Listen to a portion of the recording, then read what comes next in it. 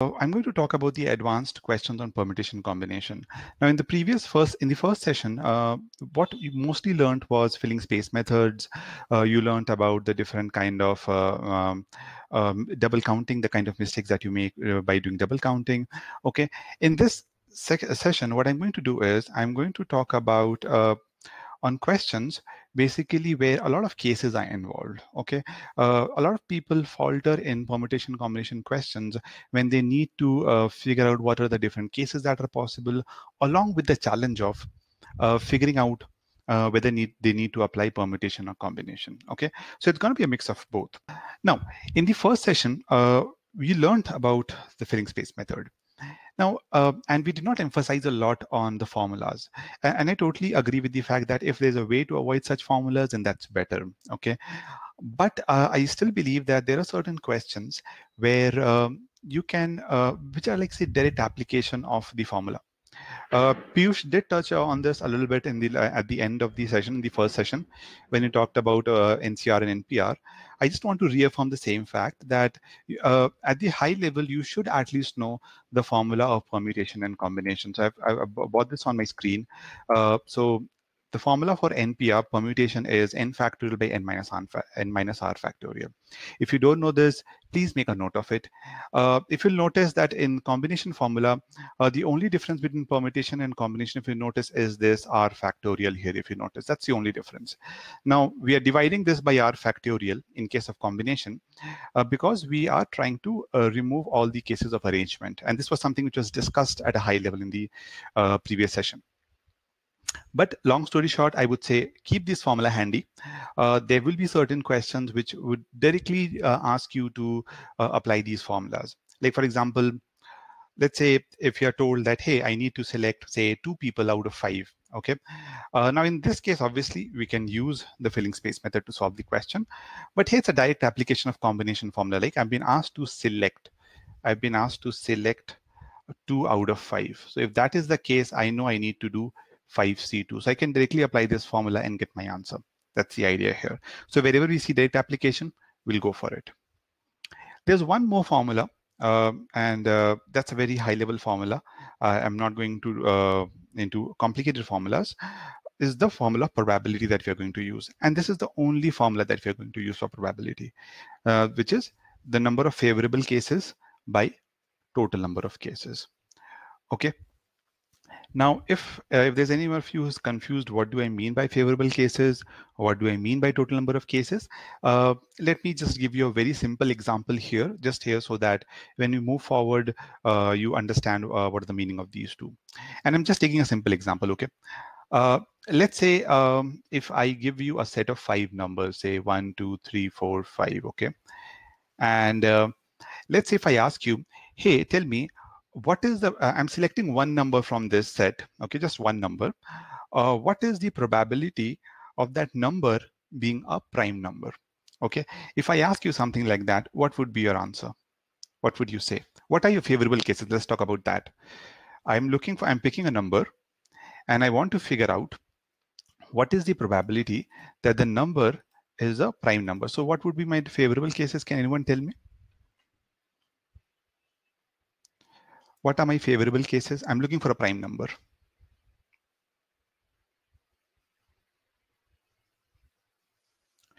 Uh, yes, Pankaj, you're correct. Uh, uh, Shivani, you're also correct. There will be only three favorable cases, right? So the prime numbers are 2, 3, and 5. So in this case, again, it's a very simple example, I know.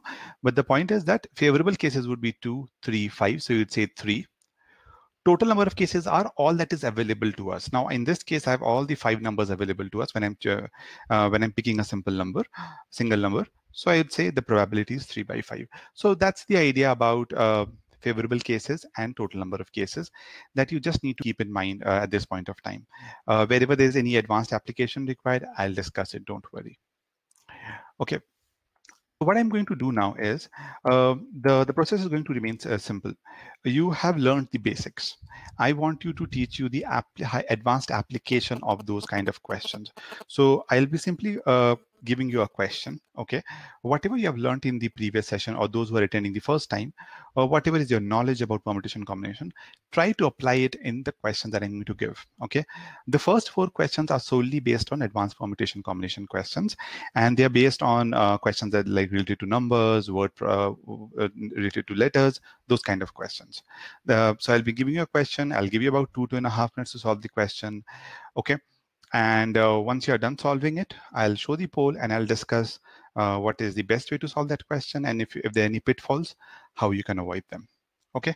Uh, any questions so far? Uh, if this is perfectly clear, kindly mark yes so that I can show you the first question.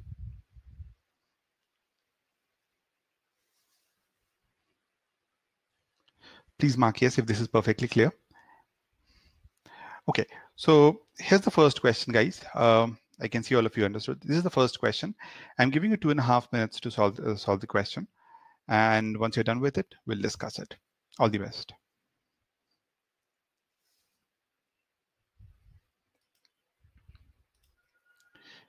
And I'm going to bring up the poll just one sec. The poll is live. I would request all of you to answer, give, uh, put your answers in the poll and not in the chat box. Okay.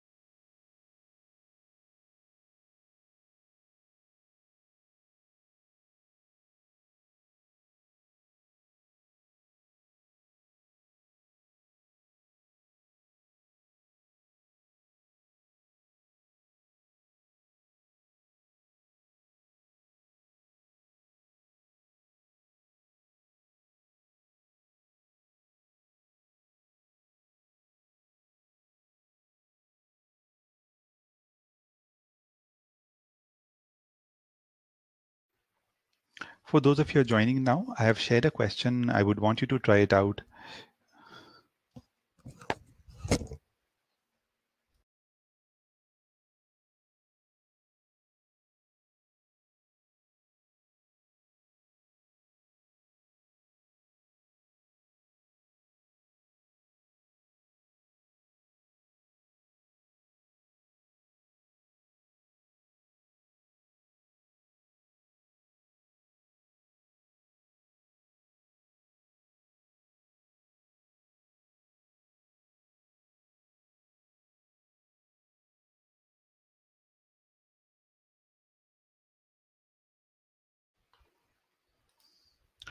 Okay, guys, you have about 30 seconds more.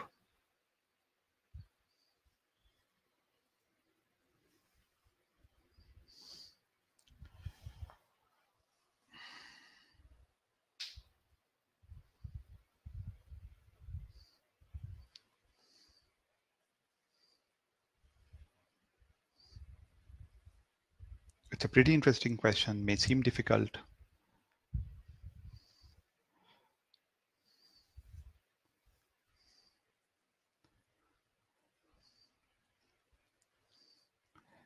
Okay, another 10 seconds. I would encourage all of you to participate, uh, even if you think uh, you're not sure what the answer is. As I keep on telling everybody, in GMAT, you'll have to mark the answer. So get into the habit of that.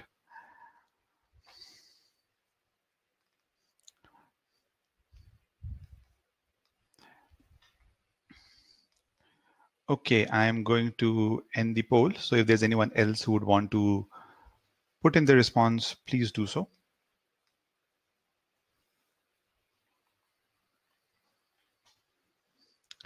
Great. And have a very interesting result. Uh, about 37% of you think that the answer should be B, okay, which is good. Uh, I'm not saying that's correct, but that's the majority.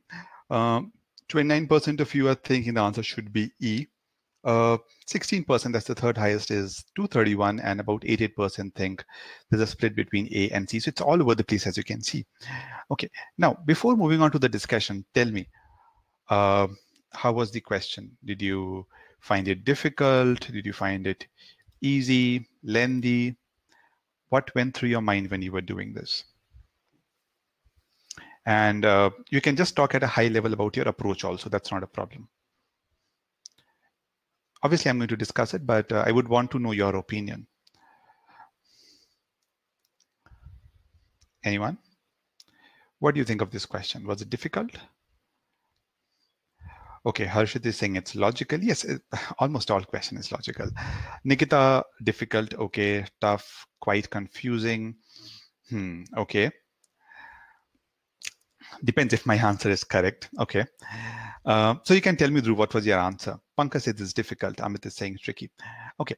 So see, uh, questions like these, uh, they were saying lengthy. Okay, I will. I, will show you that this question, if you understand it correctly, so the understanding part might take some time, maybe a minute, maybe.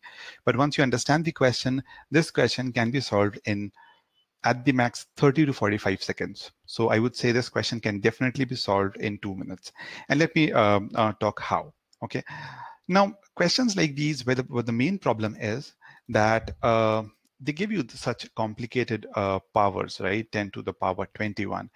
And you may think, hey, what do I do with this 10 to the power 21? This looks difficult. It's, it's a big, huge number. No, let me ask you a single question. First, first question. Uh, how many digits are there in 10 to the power 21? That's my first question. So when I read this, that is the first thing that I should think about. Okay, how many uh, digits are there in 10 to the power 21? Number of digits?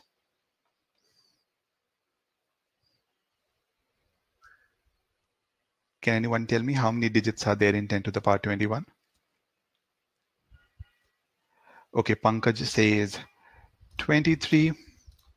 What about the others? 22, 22.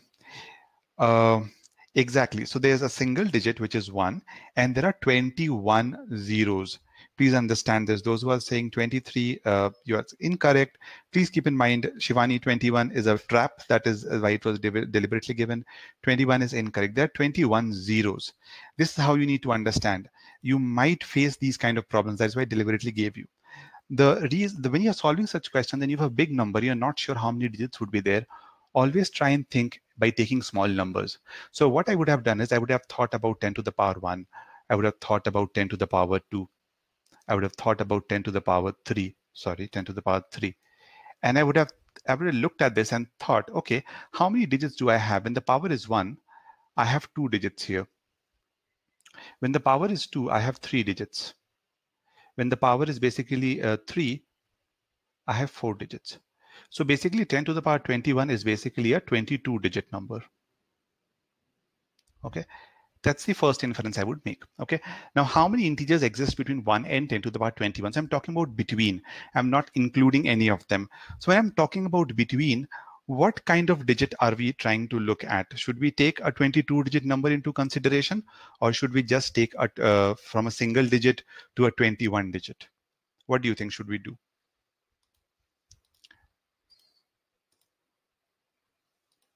Is the question clear? Uh, so there are 22 digits, 10 to the power 21 two digits. I'm looking in between. Okay, so I look at a single digit number, I look at a two digit number, I look at a three digit number, I look at a four digit number. Till what point? Should I look at 22 digit numbers or should I end at uh, 21 digit? single digit to 21 digit. Very good. Yeah, Shashank, that's absolutely correct. We need to exclude the first and the last. The last is a 22 digit number. We are going just one below. So single to 21 digit. That's absolutely good, guys. Very good. Okay. So this is very, uh, it's clear to us. And so the first stage is clear. We are perfectly, uh, and we perfectly understand that it could be a single digit, a two digit, a three digit, a four digit, and so on and so forth till a 21 digit number. Again, I'm not going to draw all this, but the idea is a 21 digit number. That's good. Okay. So first thing done. It might take us 30 to 45 seconds to think this. Let's think in this way. Okay. Let's come to the second part where most of you fell for the trap. Okay. Where the sum of digit is exactly two. Now, if the sum of digit is exactly 2, in how many ways can I get the sum of digit as, as 2? Can anyone tell me in how many ways can I get the sum of digit as 2? There are a lot of digits in a number. Let's say, for example, how do I add up all the numbers and get 2? Anyone? Tariq, uh, that's good. 1 and 1, that's good. Anyone else?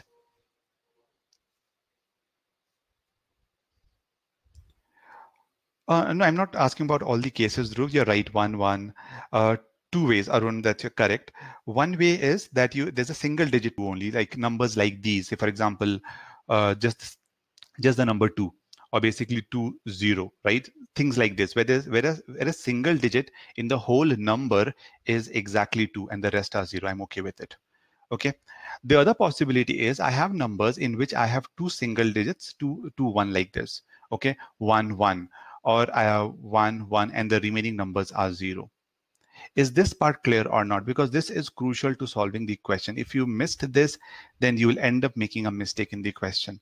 So tell me if this part is clear or not. In the you're absolutely correct, two ones and 1 2. This is a very important inference that you need to make to solve the question. Those of you who just took a single case ended up marking the answer as B, which was a trap about, I think, uh, 37% of you marked the answer as 21 and you made uh, most of you made this this mistake only. You thought of only one case. That was a trap that i set for you. Now once you understand this that okay Vardhan, you're saying please explain again. Can you tell me what is the doubt? Did you understand? So the question says sum of digits is exactly 2 so basically what you need to do is let's say for you have a number a b c d. Let's just take hypothetically. I need to add this up and get the sum of digit as 2. How can I get that? One way is that one of the digit is 2 and the remaining are 0. That's one way. The other way is to have 1 plus 1 and the remaining as 0. Now it could be a two digit number, it could be a four digit number, whatever be the case. But these, when I'm adding the, adding the digits, the sum should add up to 2. And the only way is that if one of the number turns up to be 2, then the remaining 0. The other case is when two numbers are 1 each and the remaining are 0. I hope this is clear now. Okay, yes, uh, Dhruv, if you miss this, you will uh, end up marking either B or maybe A, that, that's a possibility. Okay, now, since this is clear, let's move on to the main part, okay, where we do the actual calculation. And there are a number of ways to do it. I'm just going to show you one of them, okay, uh, two of them. But I'll start off with the one which in the exam, if I don't know anything, if I have no clue, how should I go about doing it? So what I'm going to do is in the exam, if I had to solve this question, I would have divided that into two different cases. I would have said, okay, one case is possible when one of the digit is two and the remaining are zero. Okay, that's one possibility. The other case is that I have one, one and the others are zero. So let me write down these two cases. Case number one. Now you'll notice a pattern here. See, if I, if I have a single digit number, the only number that is possible is two, right? In this case, I'll get the sum of digit as exactly two. Okay if I have a two digit number, the first place has to be filled with two. There's no other possibility. I cannot place it a zero here. The first place has to be two and the remaining part has to be a zero. So the only number possible is two zero. When I have a three digit number, again, notice I have to place the two here and the remaining two have to be zero. There's no other option. So I'll again get one case here. If I have a four digit number again or two, again, I, I should not do this. I'm just trying to show you the pattern basically. Ideally by now I should have understood or I should have inferred that if I have a two and the remaining are zeros, uh, whatever number, whatever digit I take, single digit, two digit, three digit, four digit, there's only one possibility. Just one possibility. So how many numbers can I form? If I know that I can go up till 21 digits, right? And for each digit, for each digit, I'm just getting one case. So one case, one case, one case, one case till the 21st digit that I have here. This will also be one case. So if I add this up, how many cases will I get? Pankaj 02 is a single digit number. I, and I have placed 2 in the units digit. If you notice, this is my first case. The first case has 2 in the units digit. I hope this is clear. Okay, 21 cases, absolutely good, everyone. So there will be 21 cases. So see, how, first part done, 21 cases. How much time did it take? The moment I saw the pattern, the moment I can infer the starting place has to be 2 and the remaining zeros, I can easily come up to 21 cases. Okay, let's come to the next one. Now, the moment I've done this, this gives me one more clarity. Uh, when I'm coming to this part, I know when I'm thinking of now, I have to have two ones. I have to have two ones to get the sum of digit two. So I cannot start with a single digit number. I have to start with a two digit number. Okay. So in this case, I'll have only 20 cases. Please keep this in mind, guys. Don't make this mistake. I'm not starting with a single digit number. So I'll have only 20 cases, unlike 21. Now, one case could be 1, 1. Now, the clarity that I get from this is that the first place is always fixed. The first place for whatever digit number that I take will always have 1 in the starting place. There's no other option. So whatever I need to play with, I have to play with the ones and the zeros. Okay. Now think about it.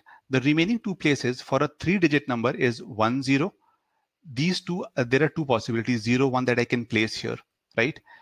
Either it could be one zero or it could be zero one. So I can fill this in two ways. I hope this is clear. Now in these two, three places for a four digit number, I have these options with me, one, zero, zero. I'll get numbers like this just one example I'm showing you. In this case, the sum of digits is 2, right? Now I have to fill this. Now this is a question which I want to ask you and you need to tell me. If I have these three digits and I need to fill this in, in these three spaces, since you have attended the first session, in how many ways can I do that? Three places and I have one zero zero. In how many ways can I do that? Anyone? I have three spaces and I have one zero zero which I need to fill in. In how many ways can I do it?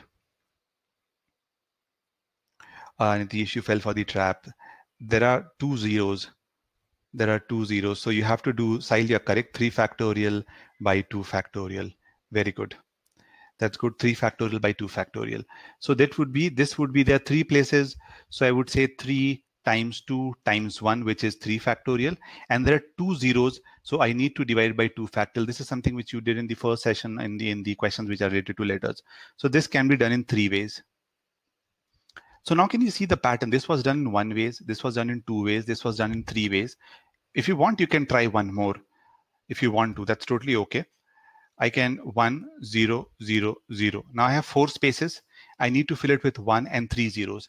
This, I can do it in 4 factorial by 3 factorial, which is four ways. So notice I'm getting a pattern here, 1, 2, 3, 4, 5, 6, 7, 8. It will go on till 20 cases. So it will be like this, 1 plus 2 plus 3 plus 4 till 20. And if I add this up, I'll get 20 times 21 by 2, which is equal to 2, 1, 0. So you have 210 cases here. You have 21 cases here. So the answer in this case would be 231. Now, if you have any doubts, please ask. There's another way, a faster way to do it. But I'm just saying in the exam, if in a scenario where there will be certain questions where you might not have solved before, which you might not have solved before. In such scenarios, you have to obviously, first of all, figure out the two things that we did, how we can get the sum of digits as two, and what does 10 to the power 21 actually stand, how many digits are there. After that, you'll have to do certain inferences like these, the way I did it in the first case, there are 21 cases. And the second one, you'll have to look for a pattern like this, from where you'll understand that you're getting a sum of natural numbers like 1, 2, 3, 4 till 20.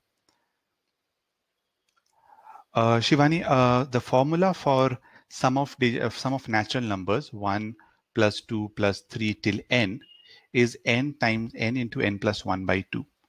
That's the formula. Okay.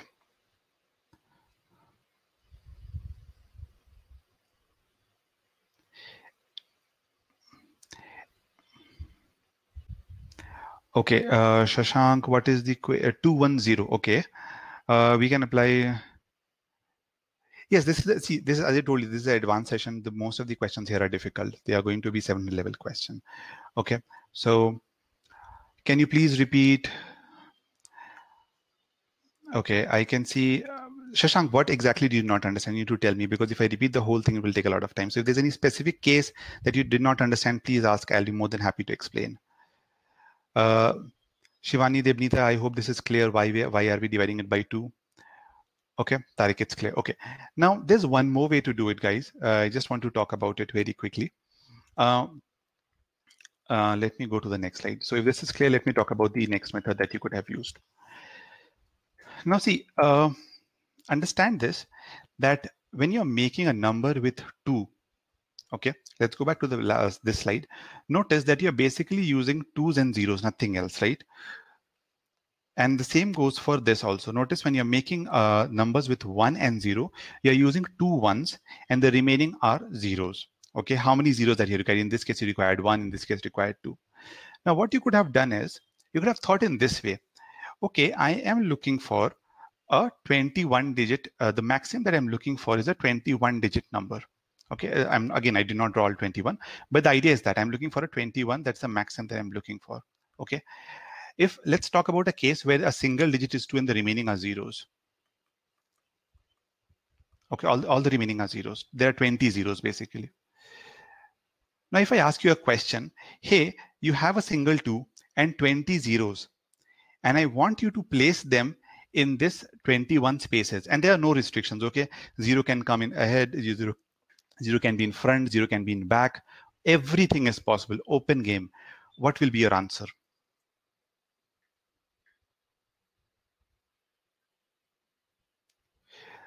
Zero to Pankaj, zero two is a zero two means simply two.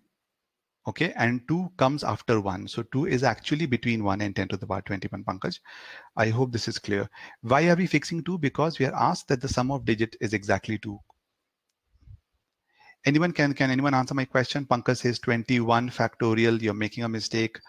It's not 21 factorial. Arun says 21C1. Okay, good. 21 factorial by 20 factorial. That's absolutely good, guys. This is good. That's absolutely good. So here also there are 21 spaces, 21 digits, right? So you'd say 21 factorial. But as I told you, there are 20 zeros. So you divide by 20 factorial.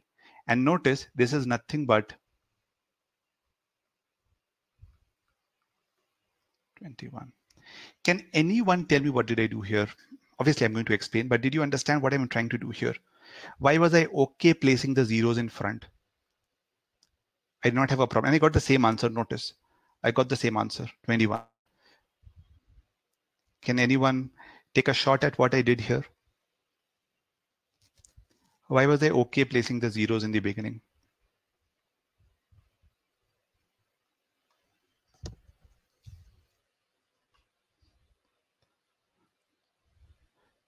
Pankaj says we remove the duplicacy. Yeah, we remove the duplicacies, but why are still we okay with placing zero in the starting? Two is also included. See guys, uh, let me explain. The reason I did this is because see, uh, I'm looking for all kind of digit of numbers. Okay, it could be a single digit, two digit, three digit, four digit, right?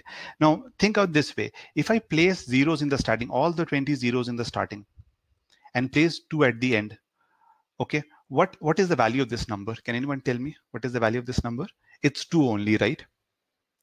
It's two only. So even if I place all the zeros in the starting, I'm getting my two. Okay. If I place one, one, two here and the last zero here, I'm getting a 20 because the zeros in the starting don't add any value. So basically what I'm trying to do here is I'm getting all my cases here. Single digit, two digit, three digit, four digit, all cases are being covered here in one single uh, go. I don't have to do it again and again. If zeros on this starting, I don't have a problem. Whatever is there after the zero would be my number. And here I'm considering all the cases, single digit, two digit, three digit, four digit. And the same thing can be done for this case also. Notice I have two ones and 19 zeros here. I can do the same thing. I can say, hey, there are 21 places. Okay. I need to fill this 21 spaces with these 21 numbers. Okay, how do I do that? There are 21 places, 21 numbers. So I'll write it as 21 factorial, but these two ones are repeating itself. So I'll divide it by 2 factorial. And there are 19 zeros which are uh, repeating itself. So I'll divide by 19 factorial. And notice if I simplify it,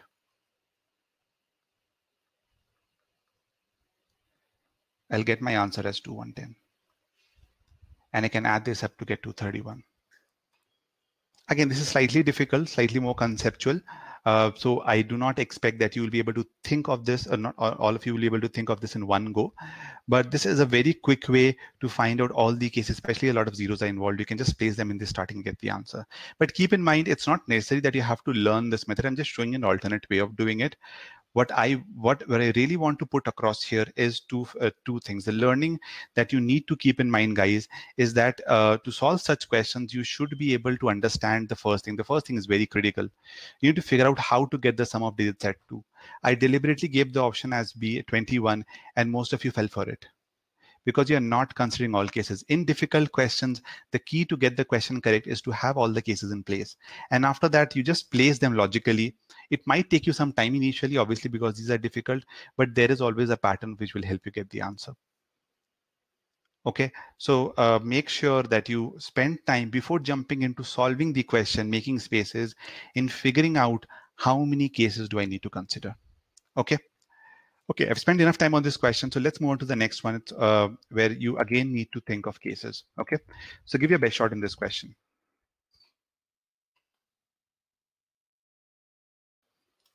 And I'll bring up the poll in a minute.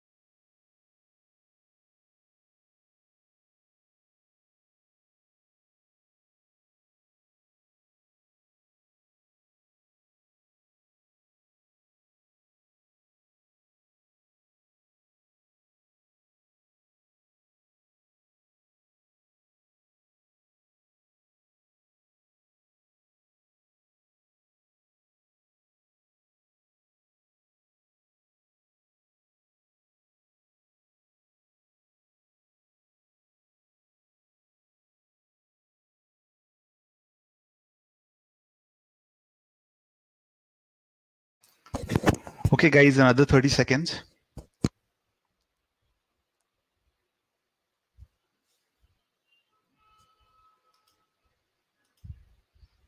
By the way, I'm glad that you're doing good in this question. Uh, there's a significant improvement in the accuracy of this question. Significant improvement. So uh, I'll just give you another 30 seconds as I told you and then I'll discuss the questions. If there's anyone else who would want to mark the answer, I've already given you a hint. You need to make cases. So you should be able to do it.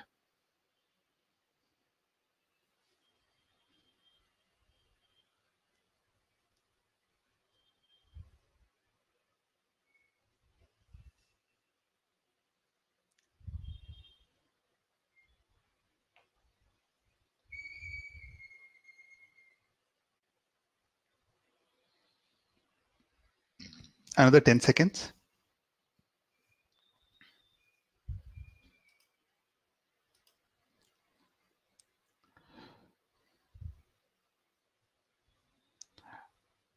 Okay, I'm ending the poll now.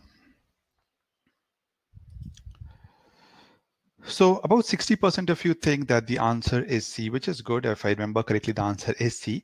Uh, but uh, a lot of you mark the answer as E, 21%. Again, there was a small trap which was set both in D and E. Thankfully, a lot of people did not choose D, which is good. Uh, and um, so once again, let's talk about the difficulty level of this question. How did you find this question? Uh, I'm sure you must have found this easier than the first one, right? After doing the first one, this was easy? Was this, did you find this easy?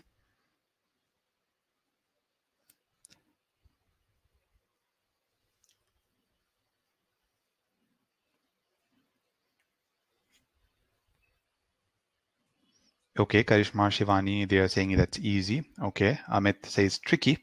It's slightly tricky. There's just one thing, one uh, case that you need to consider properly. If you're able to do that, the question is a piece of cake, believe me.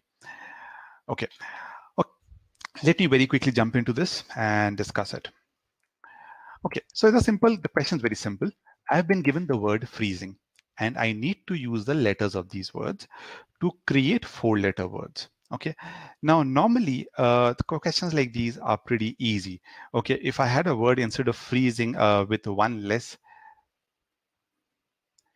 E, it would have been a piece of cake, right? Nothing, I, I don't need to do anything. Just count the number of uh, uh, alphabets that you have. One, two, three, four, five, six, seven, two, seven, P4 to get your answer. Or you can use the filling space method to say, hey, the first place can be filled in this way, second place can be filled in this way, third place can be filled in this way, right? But the problem comes is when you have some letters which are repeating itself, okay? Now, in this case, uh, you cannot simply just say, hey, I have the word freezing. It's a eight letter word. Okay. So, well, and I need a four letter word. So let me place it like this, eight into seven into six into five. Can anyone tell me what is wrong with this? Uh, why, why am I saying you cannot do this when there's repetition? What's happening here? What's the problem with this?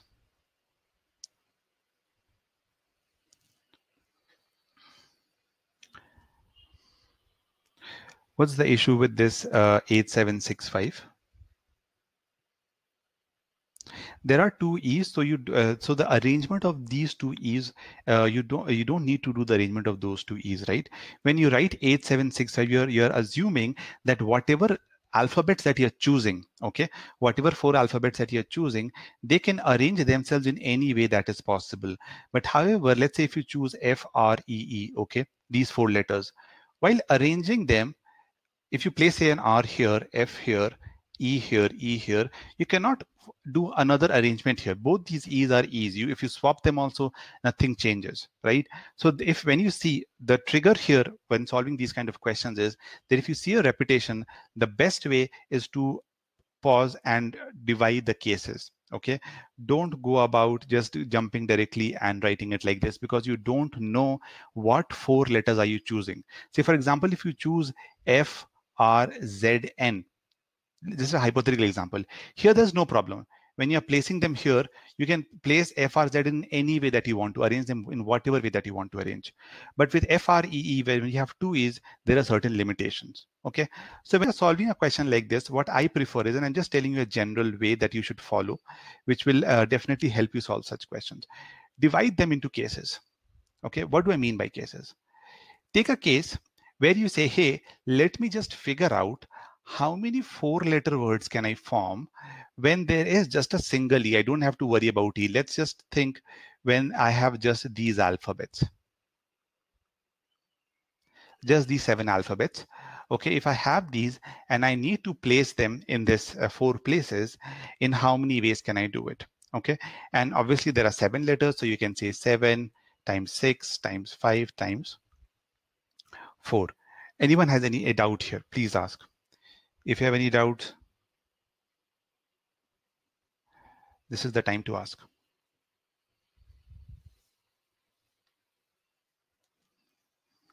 Or is this clear?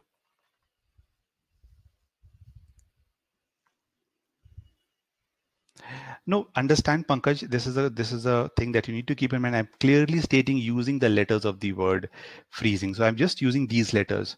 Okay. If I want repetition to be allowed, or if I want a, a, a, a alphabet to be used more than once, I would have specified that that I want the alphabets to be used more than once. Okay. I hope that answers your query, Pankaj. So this is what we need to do. We just need to count each one of them uh, exactly once. If there's any doubt, uh, now is the time to ask.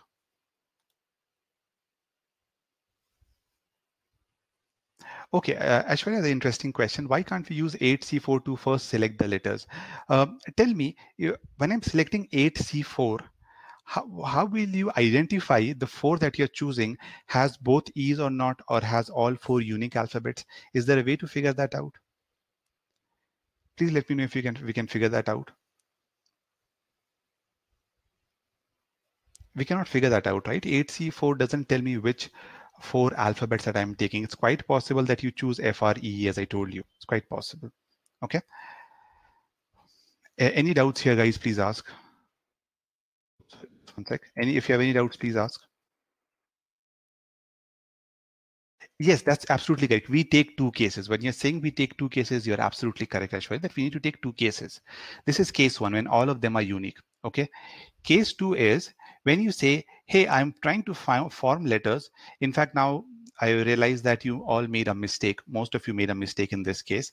That if I if you multiply this, you already have 840. So the answer cannot be 840 okay you missed a case let me talk about that case which you missed the case that you missed is there could be a possibility when you are using two e's at any place uh, let me not place it so i want to form a word I, I want to form words which has two e's both the e's and any of the remaining letters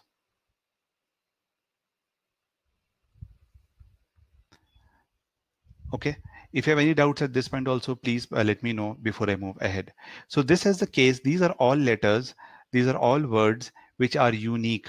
All of them are occurring exactly once without any uh, repetition.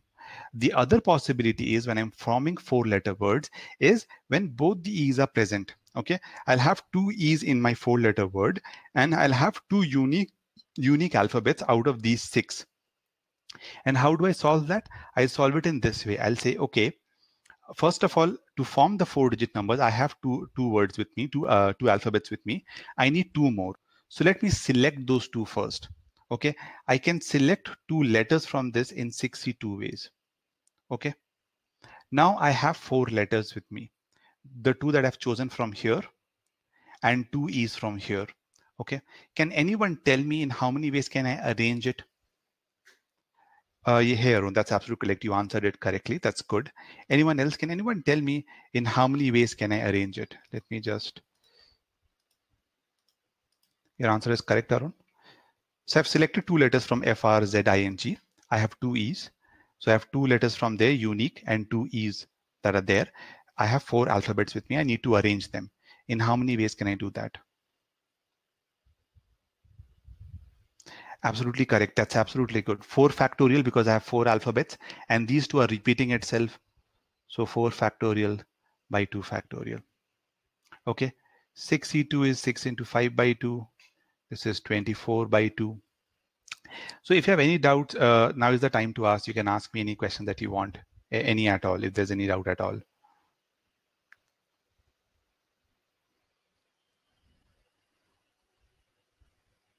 Anyone, any questions?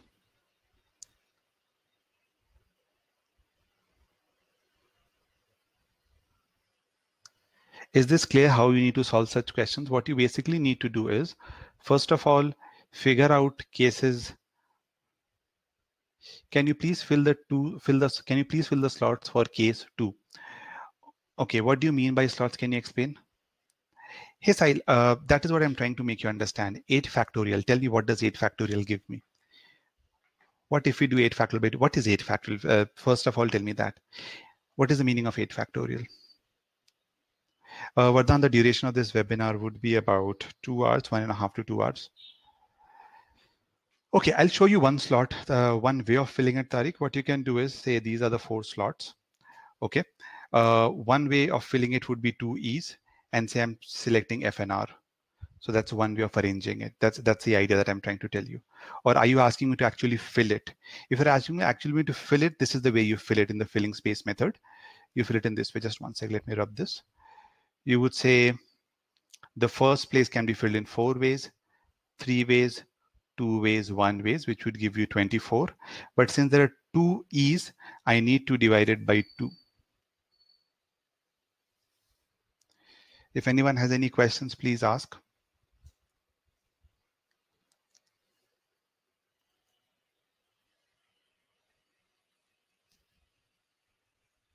Yes, Arun, you're absolutely correct. Arrangement of eight letters is eight factorial. I'm not doing eight factorial here. That's why eight factorial by two factorial does not make sense. Sahil, again, eight, seven, six, five. That's what I'm trying to make you understand. Let me take a new slide first. Just one sec. Please understand this, guys, that when I say, uh, let's say, let's take a word like this. I, I know it doesn't make any sense, but let's let's take something like this. Okay, you have eight unique letters. Okay, 1, 2, 3, 4, 5, 6, 7, 8. If you want to form four letter words, there is no issue at all. You can place 8 here, 7 here, 6 here, 5 here, and get your answer. Okay. Now, the moment I have an alphabet which is repeating, and you need to understand the meaning of 8, 7, 6, 5. That's very important. Okay. Uh, and let me make you understand, uh, Sahil, so that uh, this gets perfectly clear. A possibility is, one of the possibilities, Sahil, is that you're doing this 8, uh, sorry, not take the number.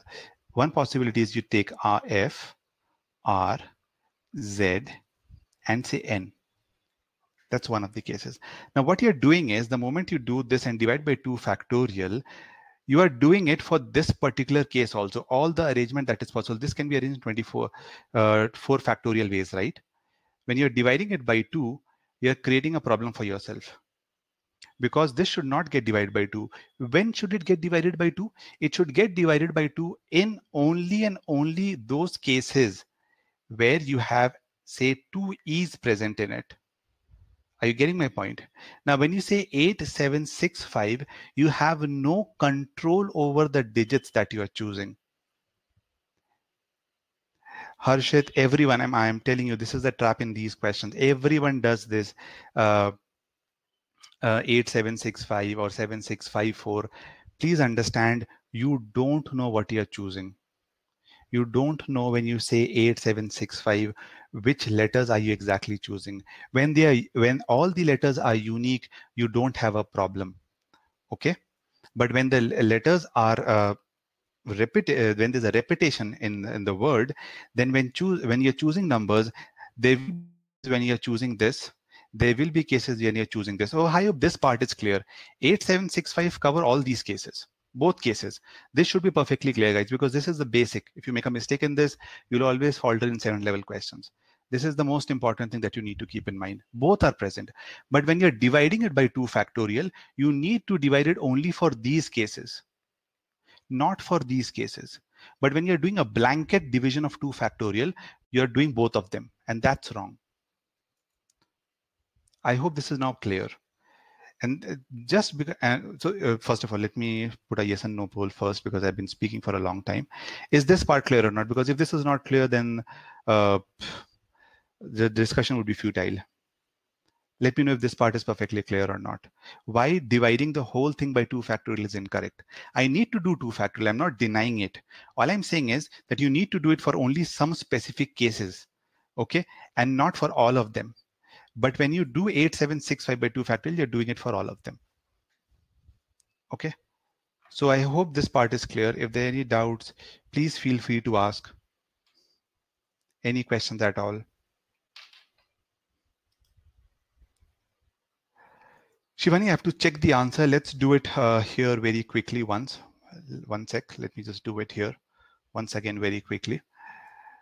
So if I have F, R, E, Z, I, N, G, one, two, three, four, five, six, seven letter words, and I need to frame four four letter words, I would do 7P4, or you can do 7654, whatever you are interested in.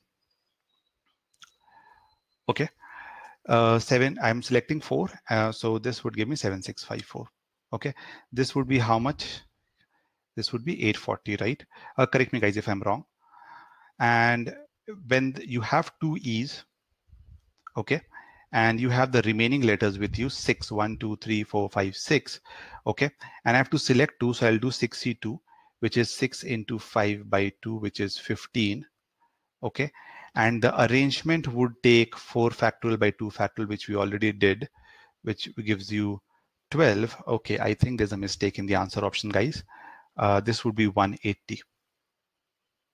There's some mistake in the answer option. So basically you have this, uh, so 10, oh, ah, so that's there, that's fine. So it would be 1020. Any other doubts, anyone, please ask. Any questions at all? If you have any doubts, please ask guys. So the crux, the takeaway which you want to write, which I would want you to write down is that please, uh, whenever you have a repetition, divide them into two parts. Okay. One case should be pure play unique cases. Okay. Uh, no, uh, where repetition is not present. All letters are unique. Find that case and uh, complete that. Second case would be where you already fix that, hey, I want to take both the E's or whatever repetition that is there. Okay take that and then solve the question. Okay, if you don't segregate it, if you do blanket divisions, you'll always get the wrong answer.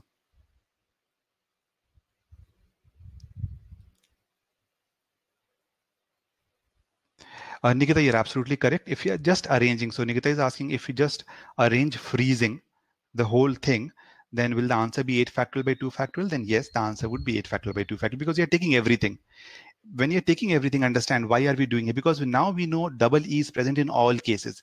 It's present everywhere. That is why we can do it by 2 factorial.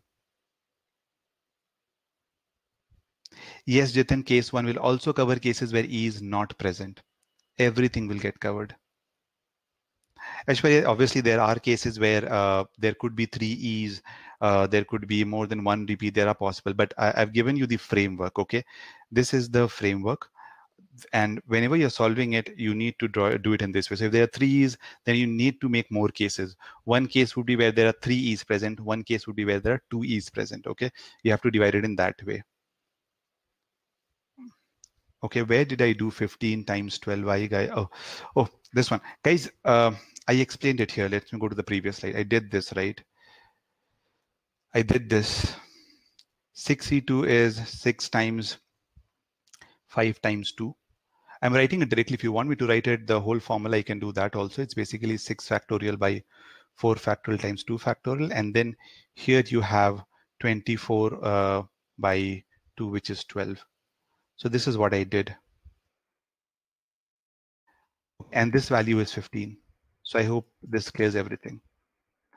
Guys, you have a lot of questions. I think if this is uh, at a high level clear, then I would like to move on to the next question because we have a lot of questions. Okay, uh, let me bring up a yes and no poll. If you're if you're kind of okay with this at a high level, I would say let's go to the next one. Let's target that. I hope this is perfectly clear. Uh, if not perfectly, at least 80 to 90 percent. But the but keep this in mind. Uh, again, I'm saying watch the video again. I would say okay, these are difficult questions. If you haven't done permutation combination before, you would randomly write 8 factorial, 2 factor I get these questions. I'm telling you. I get these kind of questions. So if you are still confused, hey, why am I doing, why is 6C215? Then I would say go to the basics of uh, permutation combination once and watch the recording once more if you have to. You'll be able to understand these. Okay, so now let's go to this question. This is again, uh, this is based on an official question. Okay, uh, so we'll give you a best shot in this one. And a really interesting one. And again, if you have any questions related to the previous one, feel free to uh, write to us. We'll, we'll, more, we'll be more than happy to answer that. Okay. We'll be more than happy to help you out. So here's the uh, new question. I am bringing up the poll. And uh, you have two and a half minutes to solve this.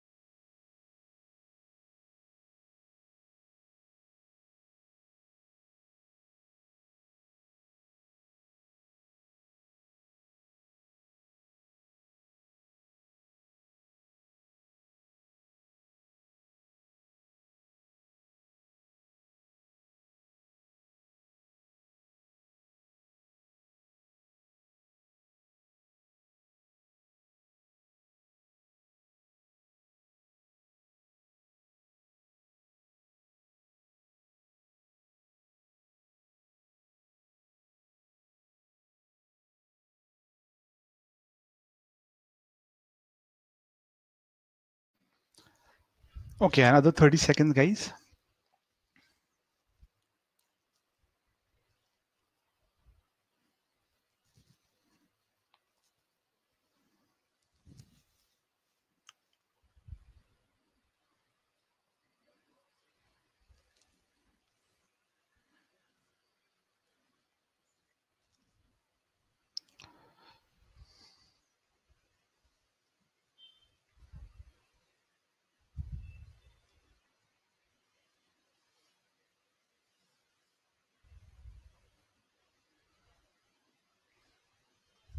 Okay, the accuracy was good 30 seconds before, but now it has taken a hit, surprisingly. Okay, another 10 seconds and I, then I'll end the poll. So if there's anyone else who would want to mark the answer, please do so.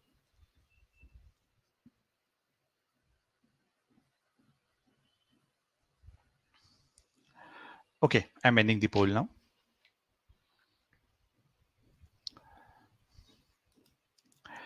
Okay, I have an interesting result here. Uh, about 31% of you think the answer should be B. 43 of you, 43% uh, is saying that the answer should be C. And uh, 25% 1296. Now, uh, why did I give you this question? Um, the reason behind giving this question is because, guys, in GMAT, you will come across various scenarios where uh, where you'll be given a definition of certain things. Uh, I don't know how many of you know what a palindrome is, but they will in GMAT give you situations like this. They'll tell you what a definition, they'll give you a definition, they'll talk about what it means, and they'll ask you to solve the question then and there okay? And it's not only uh, uh, pertaining to permutation combination only. You might face this scenario in uh, any other topic. In fact i've seen such type of scenarios in divisibility and remainder also where they give you a completely new scenario you have to understand it and then solve it then and there okay? But let's talk about uh, let's talk about the uh, how did you find this question? Let's talk about that. You find it difficult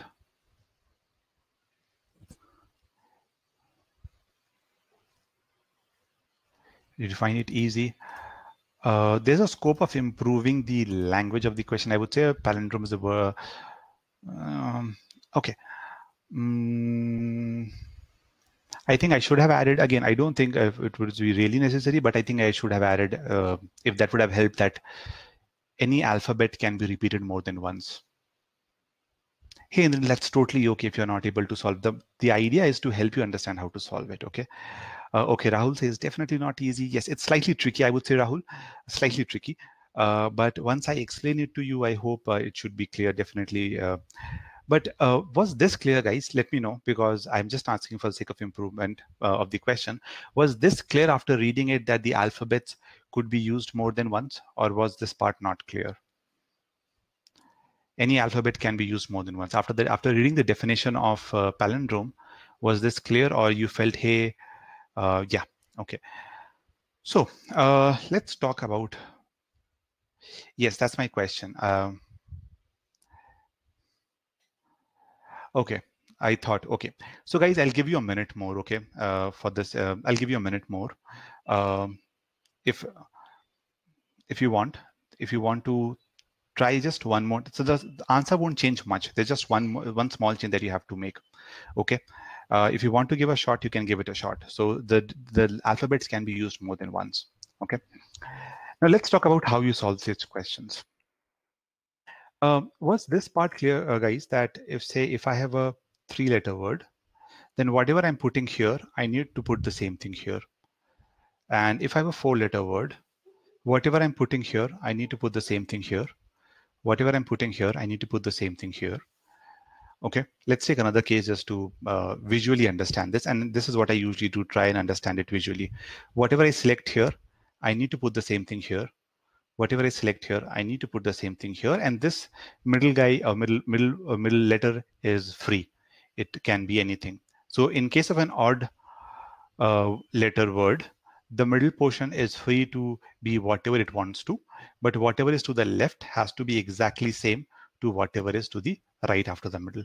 And in case of even uh, even uh, letter words, they are exactly mirror uh, mirror image of each other. Was this part perfectly clear? If there are any doubts here, I uh, kindly let me know. Let me reset the poll, bring up a yes no poll very quickly. If this is perfectly clear, say yes so that I can now talk about how to go about solving this question. Yes, okay, good, fine. So now guys, let's talk about just one case because if you understand one of them, uh, the understanding the rest is pretty easy, frankly speaking, okay? So let's take uh, the first and the last case, okay? If this is clear, and since we're talking about a five letter word, let me rub everything else. Let me just focus on one, two, three, four, five. Okay, let's talk about this. Okay, if repetition is allowed, can you tell me in how many ways can I fill this first space? In how many ways can I fill it? Can anyone tell me, please, very quickly? You have D, E, P, A, R, T, six alphabets in, and repetition is allowed. There's no restriction as such, except that it needs to be a palindrome. In how many ways can I fill the first space?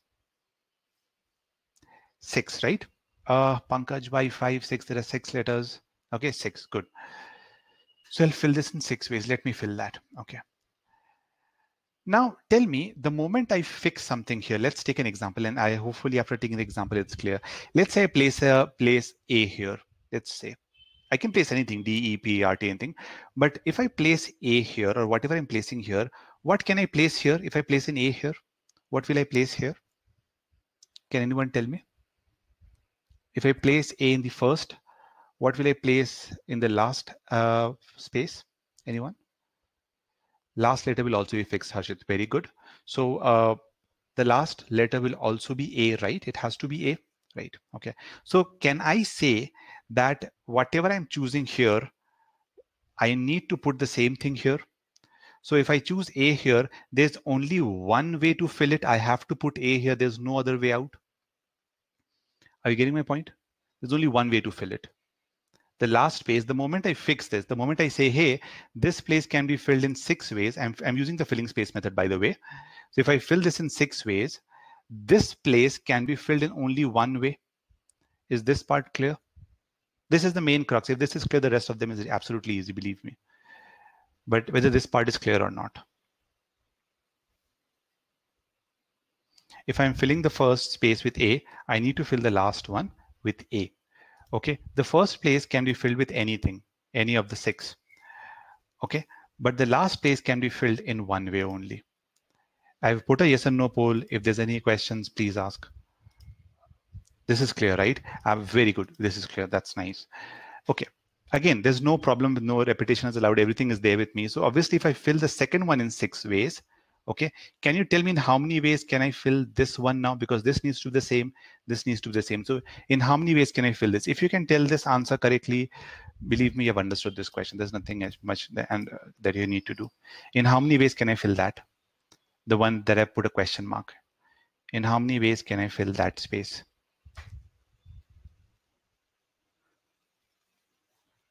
Yes, Pratik, absolutely correct. For uh, selecting first will automatically select the last one. Harshit, you are correct. It has to be one. Anyone else? One. Yes, good. Please understand it has to be one. Okay, because it's the same logic. I just I need to choose it only one way. Or an easier way to say it, hey, for both these places, for both these places, I have to choose just one alphabet. That's that's another way to think about it. I just need to choose one alphabet. I can do that in six ways. Now this middle guy is free. It does not have any restriction, nothing at all. It can be anything. Okay, so this can also be filled in six ways. So the answer in this case would be two, one, six. If you have any questions, please ask. again as i told you it's a gmat prep question official question you may, you may come across these kind of questions it could be in the form of words it could be form in the in, in the form of numbers also yes pankaj six ways for middle one as well absolutely correct okay uh, so let me bring up the poll once again very quickly if this is clear guys please mark yes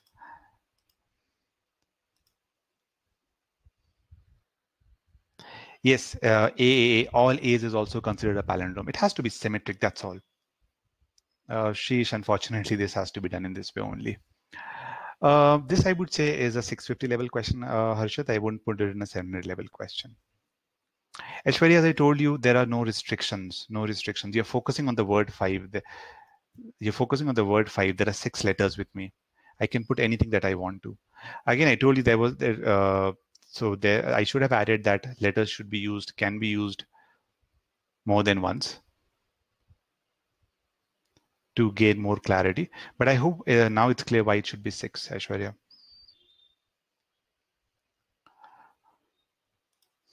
Okay, I can see all yeses. Everyone is saying that it's clear. So now let's move on to the last question of permutation combination. It's a really good one, right?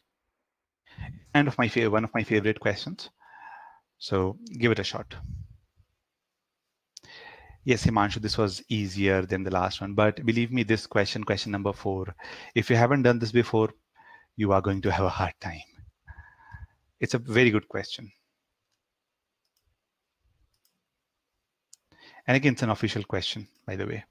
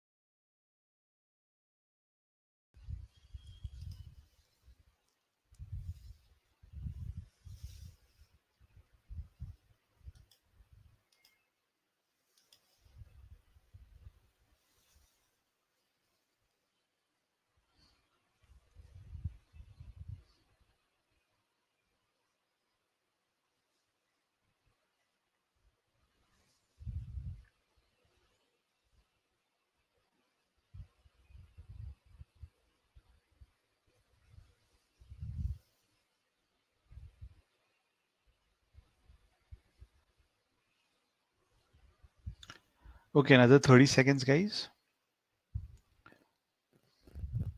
Some of you marked the answer very quickly. Uh, so I'm assuming that you know how to do this.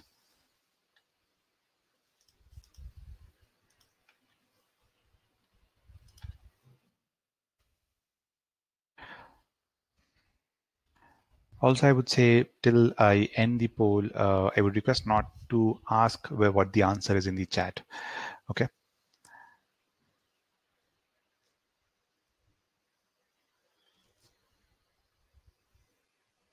Okay, Nitish says, I know the trick, but don't know the logic.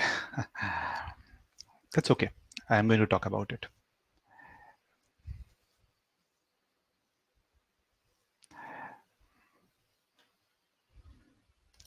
This is kind of a famous question that you get in Indian exams also. Uh, recently, GMAT kind of introduced this in their uh, in their advanced book. Okay, guys, I'm going to end the poll now. Uh, I can see that about 35% of you said the answer is A, but I have a lot of people who answered C, B, D. Can you tell me what logic were you applying to solve this question? What logic were you using to solve this question?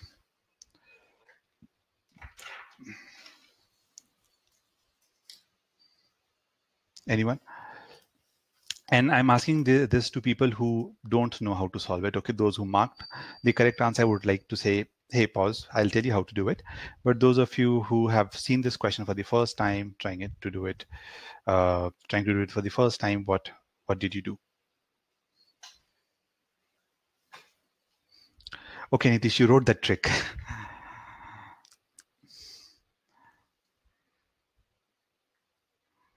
Okay, anyone else? What did you do? How did you get, say, 630 or 2880 or 3025?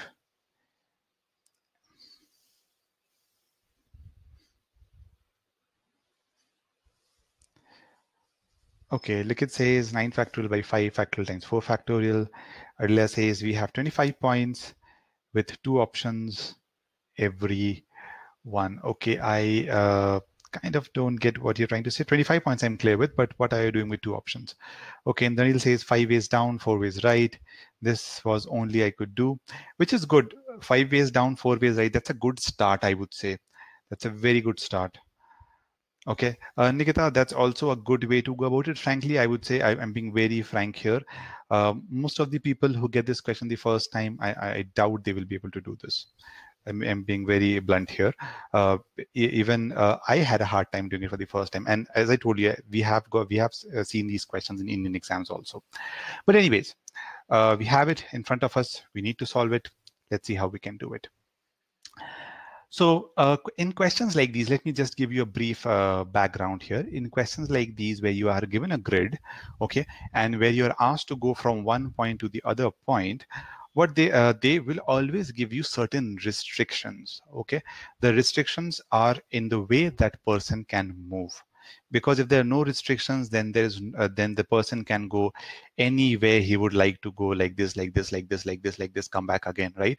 He can go on doing like this. So they will always give you restrictions. Uh, the restriction is like in this case the person is going from x to y. So they and and the restrictions are always constant standard restrictions i'm telling you.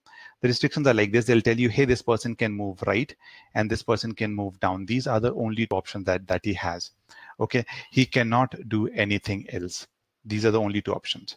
So if he has to go to x to y, say for example, if I move right like this, I go right here, uh, right here, and if I want to take a left, I cannot do that.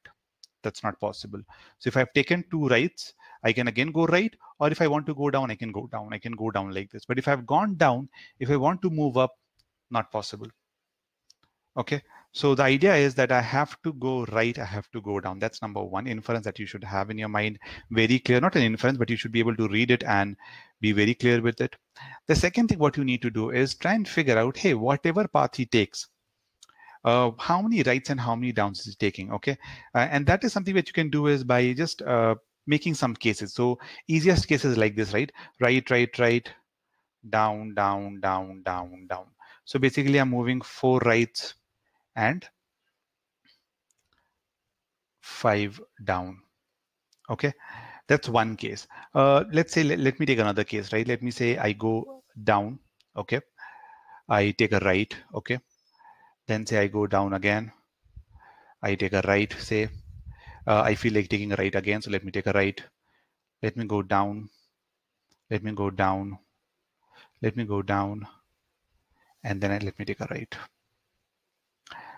Okay, and in this way, what you can do is you can write down some cases. But here is a very interesting thing that you will notice. What you'll notice here is that whatever path you take, I've written two, I, am just writing down one more very quickly. This one is the easiest one to write down. I can go all downs, five downs, one, two, three, four, five, and I can take rights, four rights, right? I can take four rights.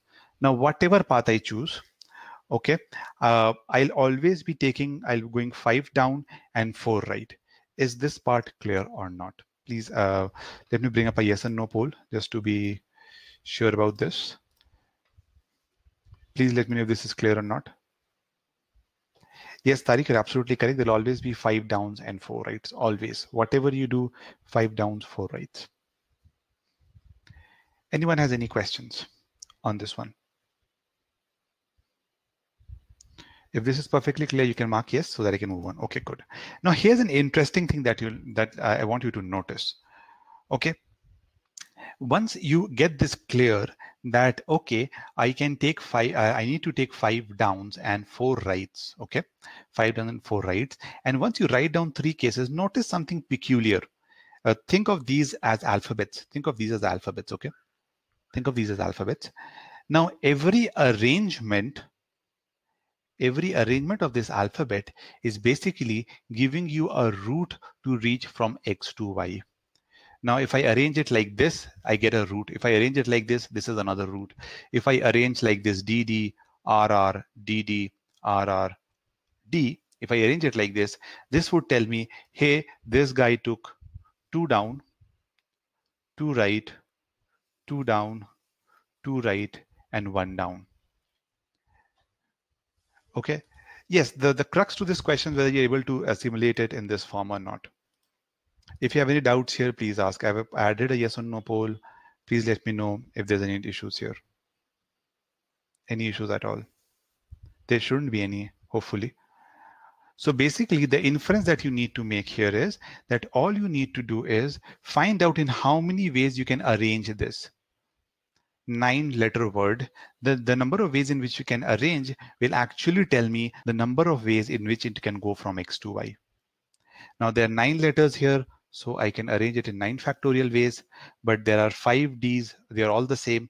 Now notice again, I just want to be very clear. If I array, if I, if I swap this, it's not going to make any change, right? If I write it, this D here, this D here, doesn't matter. I'm still taking two Ds. Okay, so it's uh, acting like an alphabet only. Okay, so I have five Ds, so I'll divide by five factorial, four Ds, I'll divide by four factorial. And the, if you simplify it, the answer that you'll get is 126. Now tell me if you have any questions, any doubts, please ask. Any doubts at all?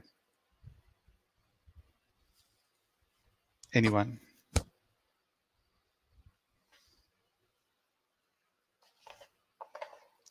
You can post it in the chat. I'll be more than happy to help you out.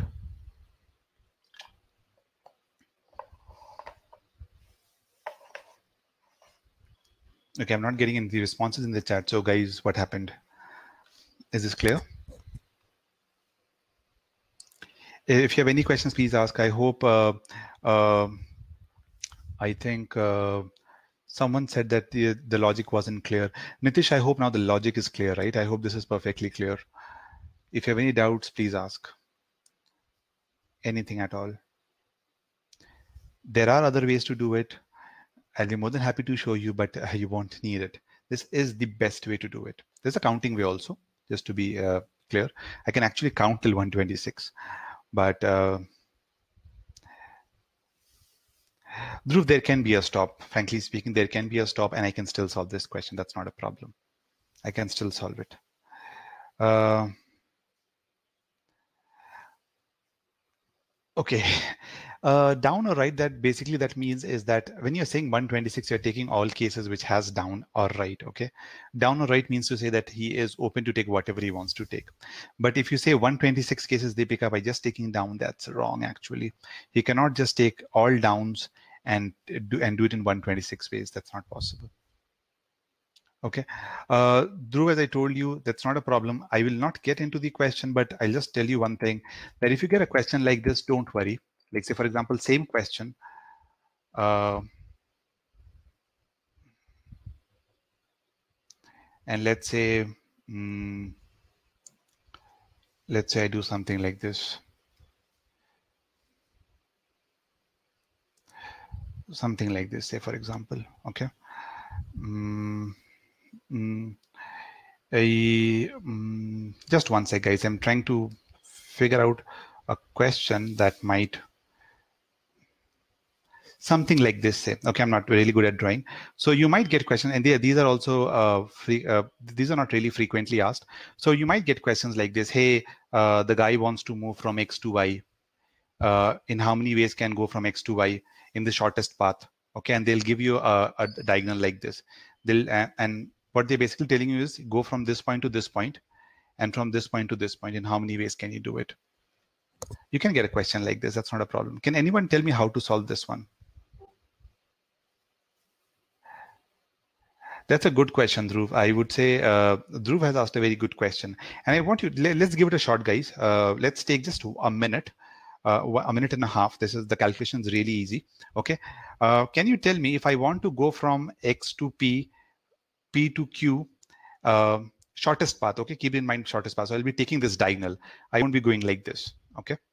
I'm taking this path or you can take it doesn't uh, for the sake of clarity, X to P, P to Q via diagonal and say Q to Y. Okay. And I want to reach Y. In how many ways can I do it? Same conditions, I can go down and right, nothing else. Down right is possible, but that is all is possible. You cannot go up, you cannot go left. Can anyone solve this quickly? Yes, Ishan, you need to make cases. This is again making cases question. So if you have understood X to Y clearly, if the logic is clear what I did, you will be able to solve this. Uh, anyone should be able to solve this question within one and a half minute, not more than that. Frankly, one minute at the max. Can anyone very quickly tell me what is the answer? And Dhruv, I'll answer your question, what we need to do.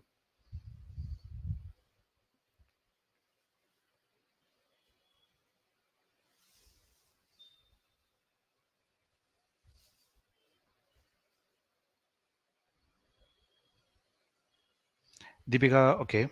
Anyone else? I am not commenting whether the answer is correct or incorrect. Uh, even I don't know the answer. I just made the diagram now only. Okay. Pankaj says 105. Jitin says 18. Okay. Nitish says 6 to 6. Okay. Uh, Nitish, uh, look at the diagram carefully. Look at Q2Y. I think you made a small mistake. Shantan says 70. Indranil says, I think it should be 6 plus 6 plus 6. Uh, Shiri says 19. Likit, okay. Now this is where the fundamental and and or comes into picture. Okay. What do you need to do? Uh, Dhruv asked me a question, and that's a very good question he asked. Should I do and or or after finding out the cases? So let's first of all figure out. Let's look at x to p. Notice I'm going to right and two down. Okay. So I'm going uh, basically not two right, two down. Uh, in whatever way I go from x to p in the shortest path, I'll be taking this as the shortest path. Okay. I'll be taking two rights and two downs to reach it. These are again alphabets. So you can simply say 4 factorial by 2 factorial times 2 factorial, which is 6. So from x to p, and I'm writing all these here, from x to p, I can go in six ways. From p to q, I'll take just the diagonal, and the diagonal can be taken in only one way. Okay, from q to y, notice carefully, there's just one right and two down. Again, I can take like this also, but whatever path that I choose, okay there has two uh, it has two down and one right? So it's basically like this d d r. So this is 3 factorial by 2 factorial which is 3 so q 2y is 3 and now the question which is a problem for everybody should i add this up or should i multiply? Dhruv says we must use and. Very good. See, understand, I need to reach from x to y okay? So to reach to x to y this is how i frame it. If whenever i have a confusion what i do is i talk to myself and i say okay i need to go to x to y. So what am i doing? Am i to reach to x to y do i have to do this? Uh, do i have to do x do i have to go to x to p or p to q or q to y? Are these optional to reach y? They are not optional right? I have to go to p to q to reach y so I have to take, I have to go from X to P and I have to take the path from P to Q and I have to take the path from Q to Y to reach my destination. Otherwise I won't be able to reach it. That is why this will be AND. So the answer would be 6 times 1 times 3, which is 18. So if any questions, please ask. This is how you need to do it. So if they give you a path, if you make a gap, it doesn't matter. If your concept is clear, you will be able to do it. Okay. So guys, I'm now moving to the next question. Uh, I don't think there's any more doubt here. Um, so if you get questions like this, just ace it, guys. Now let's look at probability questions. And I'm starting with some easy ones first, and, and then I'll move on to difficult ones. Okay, so here's the fifth question.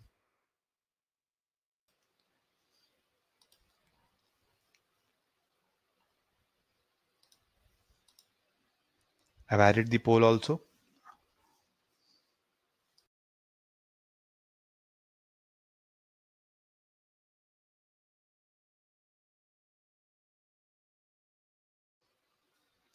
Hey Nitish, I told you, uh, uh, I did, I think, mention the question that we just need to move only diagonally. That's all. That is what I mentioned actually. You can move just diagonally. Okay. If the word, if the diagonal would not have been given, then the multiplying by two was correct. What you did was correct, Nitish.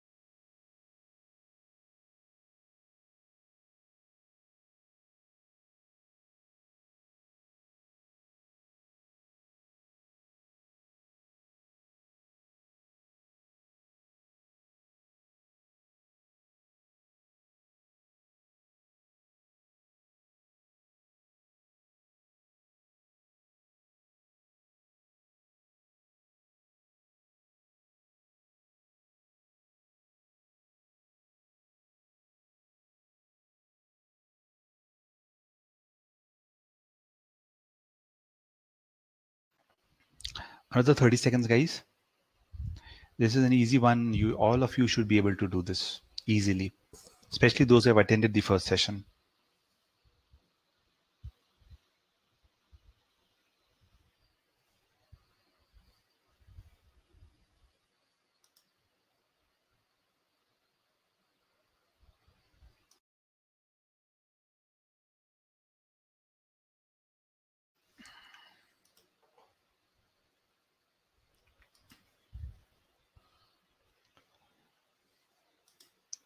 Another 10 seconds. I would request all of you to put in your responses. Those who haven't, kindly do so.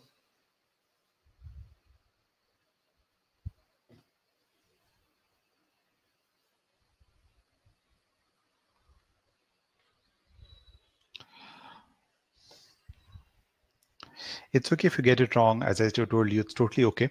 Uh, just think what what you think. Uh, just mark something which you think could be the right one. That's that's all I want.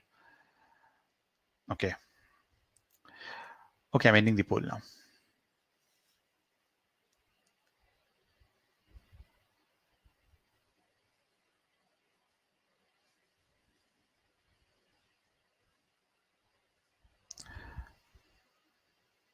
Okay, so I have about 72% of people who think the answer should be A, and uh, uh, about 18%, that, that's the highest I would say, uh, with 4 by 9. So most of you are saying the answer should be 5 by 18. Okay, first of all, uh, was it a pleasant change from the quest from the question that you were doing? Did you find this easy? So far, we have been discussing four solid, difficult questions. How did you find this one?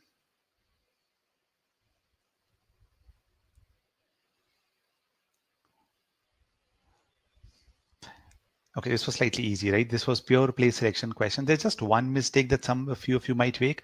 Uh, that is why I just wanted to discuss it. Uh, but since most of you have got it correct, I'll try to be as quick as possible, not wasting more time on this question because we have more questions to discuss. So I'll be very quick and I'm, I'm solving it just here only. So I have nine people and nine people includes Mary and Anna. Uh, I need to select four people, okay? So out of nine, I need to select four okay. Uh, the question is what is the probability that the four people selected would include Anna? So I need Anna definitely out of those four people and I don't want George. Okay. Now first of all uh, when I'm trying to find out the probability what I do is uh, because in this case the easiest is to figure out the total cases. Okay. I need to select four out of nine. So the total cases possible would simply be 9c 4. Select 4 out of 9. So total cases done. Easy. Okay. Now let's come to the favorable cases. Now in the favorable cases, what I need to what you need to understand is that Anna is already fixed. There's no question about it. She has to be in the team. So I don't need to worry about her. Okay. She's there in the team. So I have to select her. Okay. So I can select her in one way. So either write it or ignore it. Simply say, hey, I need Anna. Anna can be selected in one way because she needs to be in the team. Okay. Now I need to worry about those three people that I need to select. Okay. Now, if Anna is selected, I'm left with eight people. But I have, all, I have, I have a constraint saying that I cannot have George in the team. That's my favorable case. If Anna is there, George shouldn't be there. So instead of eight, since I cannot take George, I have seven options with me. Okay, I have seven options to choose from uh, the, these three people that I want out of these seven. Okay, so what I can write is I need to select three out of seven, and that can be done in 7C three ways. Okay, so I hope this is perfectly clear, guys. If there are any doubts, please ask anything at all. I can see all of you are saying it's easy. Yes, I agree. It's definitely easy. Almost everyone should be able to get these kind of questions correct. Okay, again, I'm not going to the simplification. Uh, if you want, I can do it, but the idea is very simple. Once you solve it, you would get 5 by 18. So I'm not going to the calculation. I hope the explanation is clear because there are more difficult questions that we need to discuss. Okay, so I can see all of you are saying it's clear, it's easy.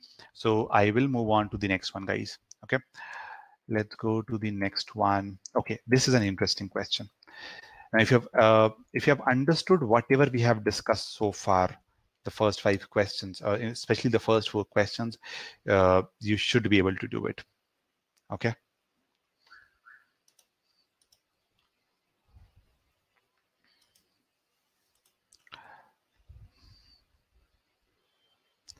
And here's the poll for the sixth question. Mm. There might be a lag in my voice, but I don't think uh, uh, there's no voice as such. I think I'm audible.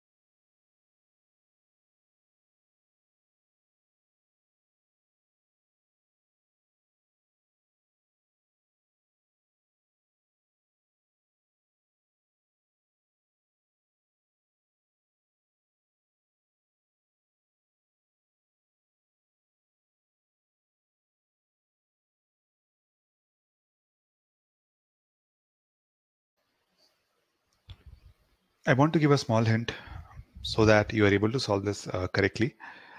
Keep in mind that books are identical. History books are identical. Geography books are identical. Okay.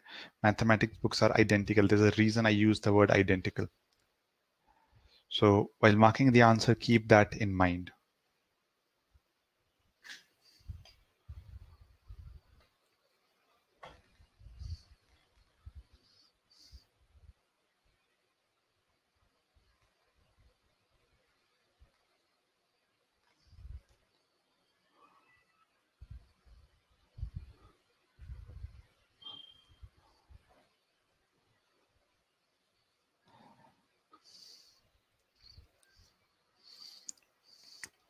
Okay, I'm giving you another 30 seconds.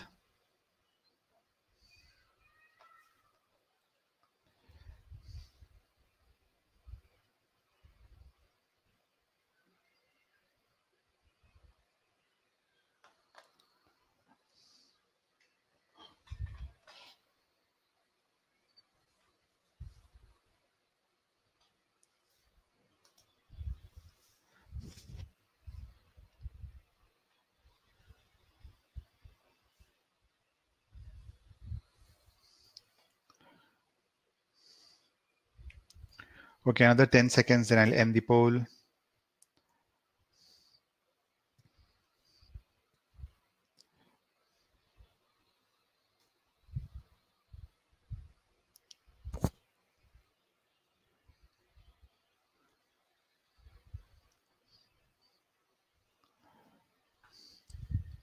Okay, I'm ending the poll now. Guys, so let's see what the result is. Hmm. So 50% of you think that the answer should be C, but I have a healthy number of people who think the answer should be E, B, 22%, 22% equally who think the answer should be B and E. And there's a reason for giving this question, guys. Uh, I'll tell you, uh, and you'll understand the mistake that uh, most of you made. I'll, I'll, discuss that. But before that, I want your opinion. Um, of this question? Did you find this difficult or was it easy to solve? What did you think of this question?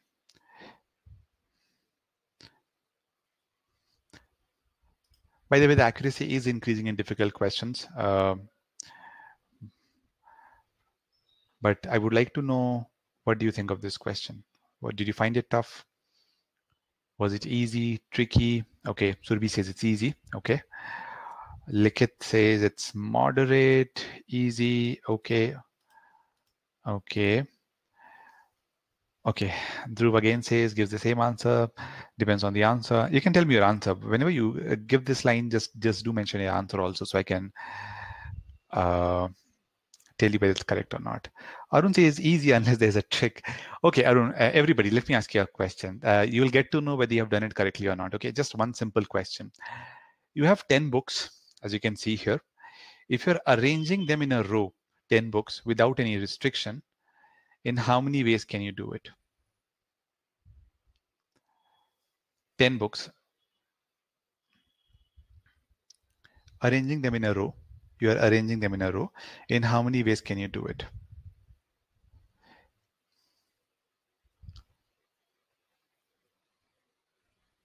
Okay, Harshit says 10 factorial. 10 factorial if different. Very good, Binoy. 10 factorial if different is correct.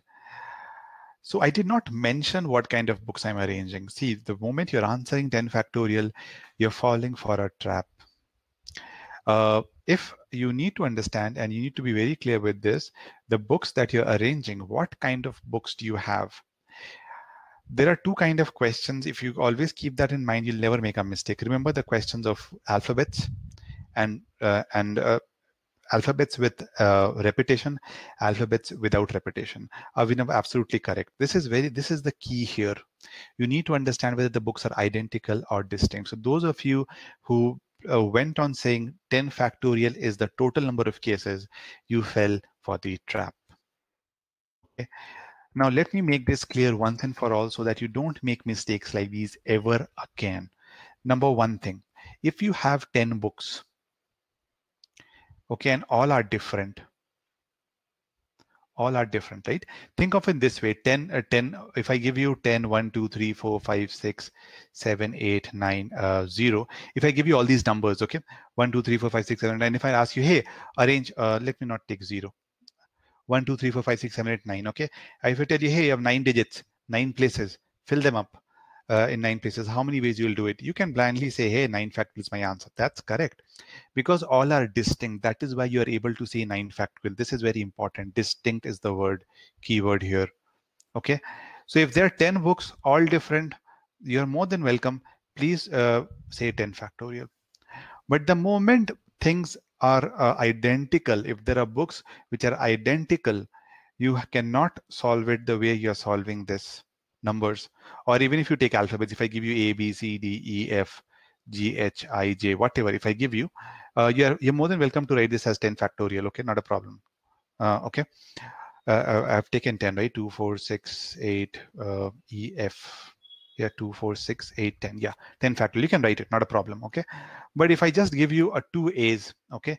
And then i give you b c d e f g h i here things changes. Here you have to say 10 factorial by 2 factorial because you have two A's.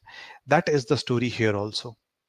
The problem is that you have identical, three identical history books. So those three identical history books can be written as HHH. They are not H1, H2, H3. Keep this in mind. That's the difference. That's the reason I gave this. Yes, Harshit, you're correct. That is what you need to do that. Okay. I'll talk about the favorable cases also. Don't worry. But this is what you need to do.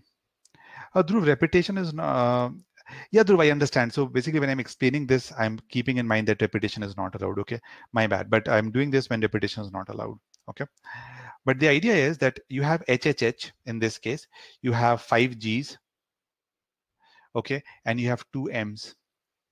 So if I have to arrange them in a shelf, uh, I can do that in 10 factorial by 3 factorial times 2 factorial times 5 factorial. Okay, if you have any doubts here, please ask because then I'll move on to the favorable cases. So keep this in mind. If they're all distinct, books are distinct. Okay. Numbers, obviously, when I was talking about, I was not allowing repetition. Uh, if books are different, no problem. 10 factorial. If they're similar, you have to take that into account. Write them as alphabets and then solve them. Okay. Now let's come to favorable cases. Yes, Likit, you're correct. Now I'm talking about all the books. Say, books. If you write it like this, no, things will become easy for you. Now I need the same books, same topic books to be together. So all history books need to be together. So think of them as one block. Wherever you move them, you have to move them in one uh, uh, together. Okay. These five geography books are one block. Wherever I place them in the shelf, I have to place them in one go in one way. Okay. And I have two M's. This is another block. So this is block one, block two, block 3. So when I'm putting them in a shelf, I can put block one here, block two here, block three here. I can put block one here, block three here, block two here, something like this, okay? Uh, the reason I'm showing you this is because I want you to tell me in how many ways can I arrange these three blocks? In how many ways can I do it? If you've understood my explanation, you should be able to tell me in how many ways can I arrange these three blocks. That's my favorable case. Can anyone tell me? Likith has given me the correct answer. Anyone else? Yes, Ashwarya, that's correct. Absolutely good. See, these are three distinct blocks. So Pankaj, Harshit, everybody is correct.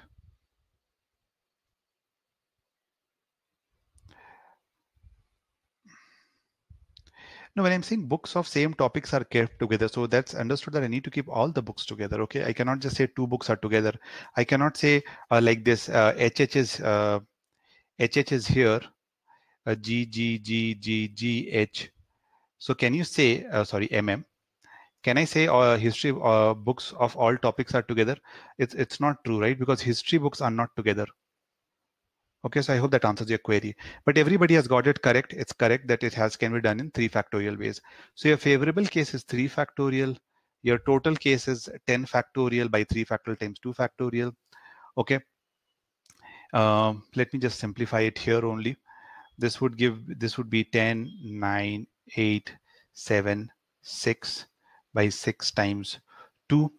Okay. Uh, now let me just cancel stuff uh, let me cancel the 6. Let me cancel it here. Okay.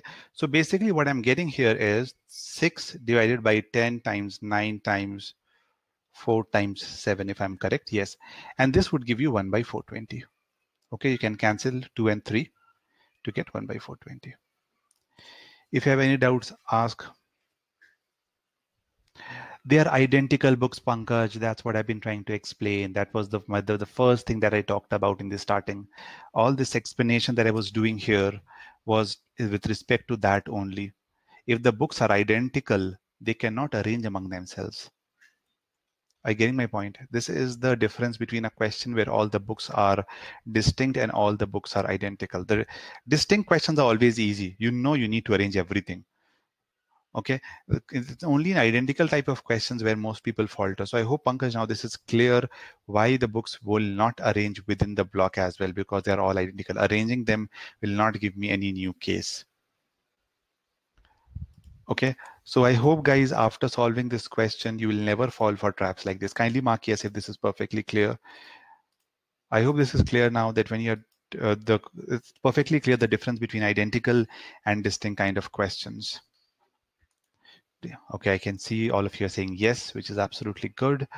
Um, okay, in the interest of time, let me uh, do two more questions.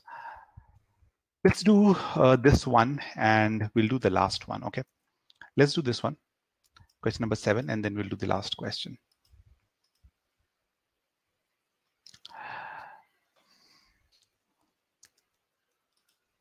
I am bringing up the poll, just one sec.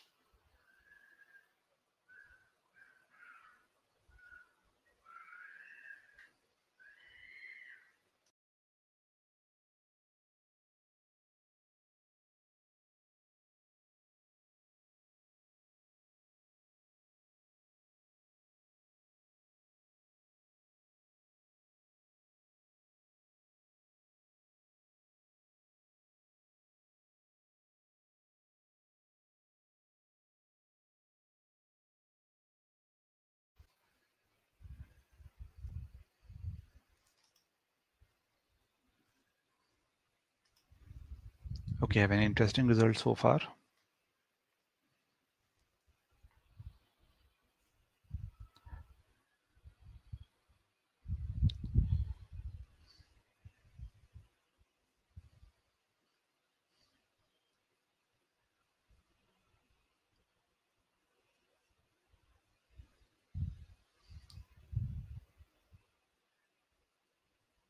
Very interesting result, frankly speaking. Okay, guys, uh, I'll give you another 30 seconds.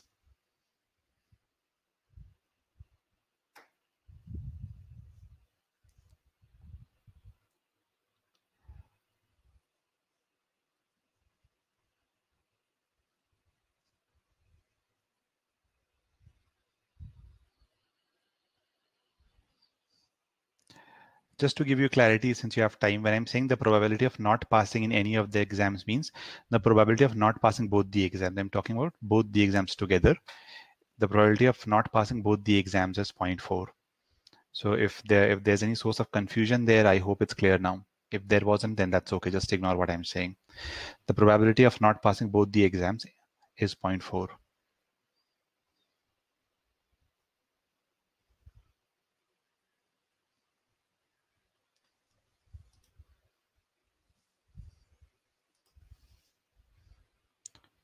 Okay, 10 seconds more, then I'll end the poll.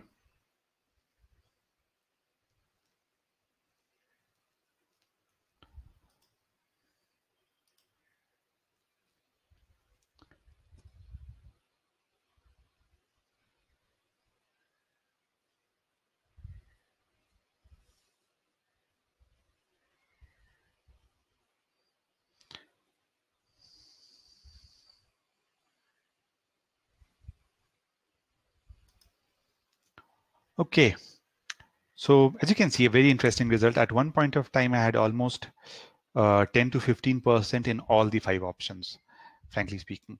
But you have chosen, uh, but uh, you chose options which are the most frequently chosen options in the exam, frankly speaking. Now, uh, Drew, I'll tell you what the answer is. Don't worry. Okay.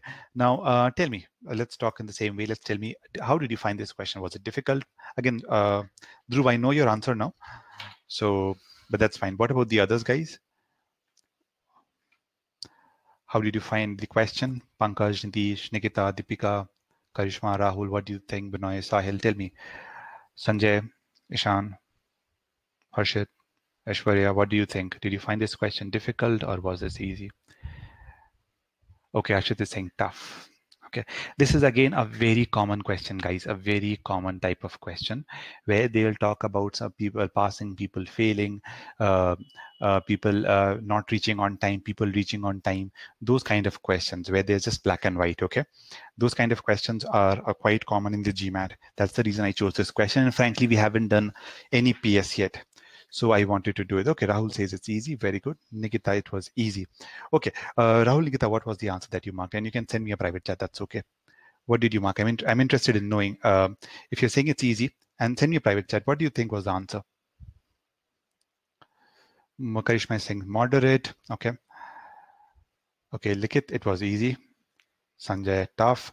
Okay, uh, the question I would say it falls under the category of medium, medium hard. Okay, I would not categorize this as an easy question. Frankly, those who are aware of the of the uh, I won't say trick to solve the question, but those who are aware what really needs to be done in this kind of question, uh, you will get this answer correct. Okay, okay. Uh, Likit Nikita, thanks for telling me what you have marked.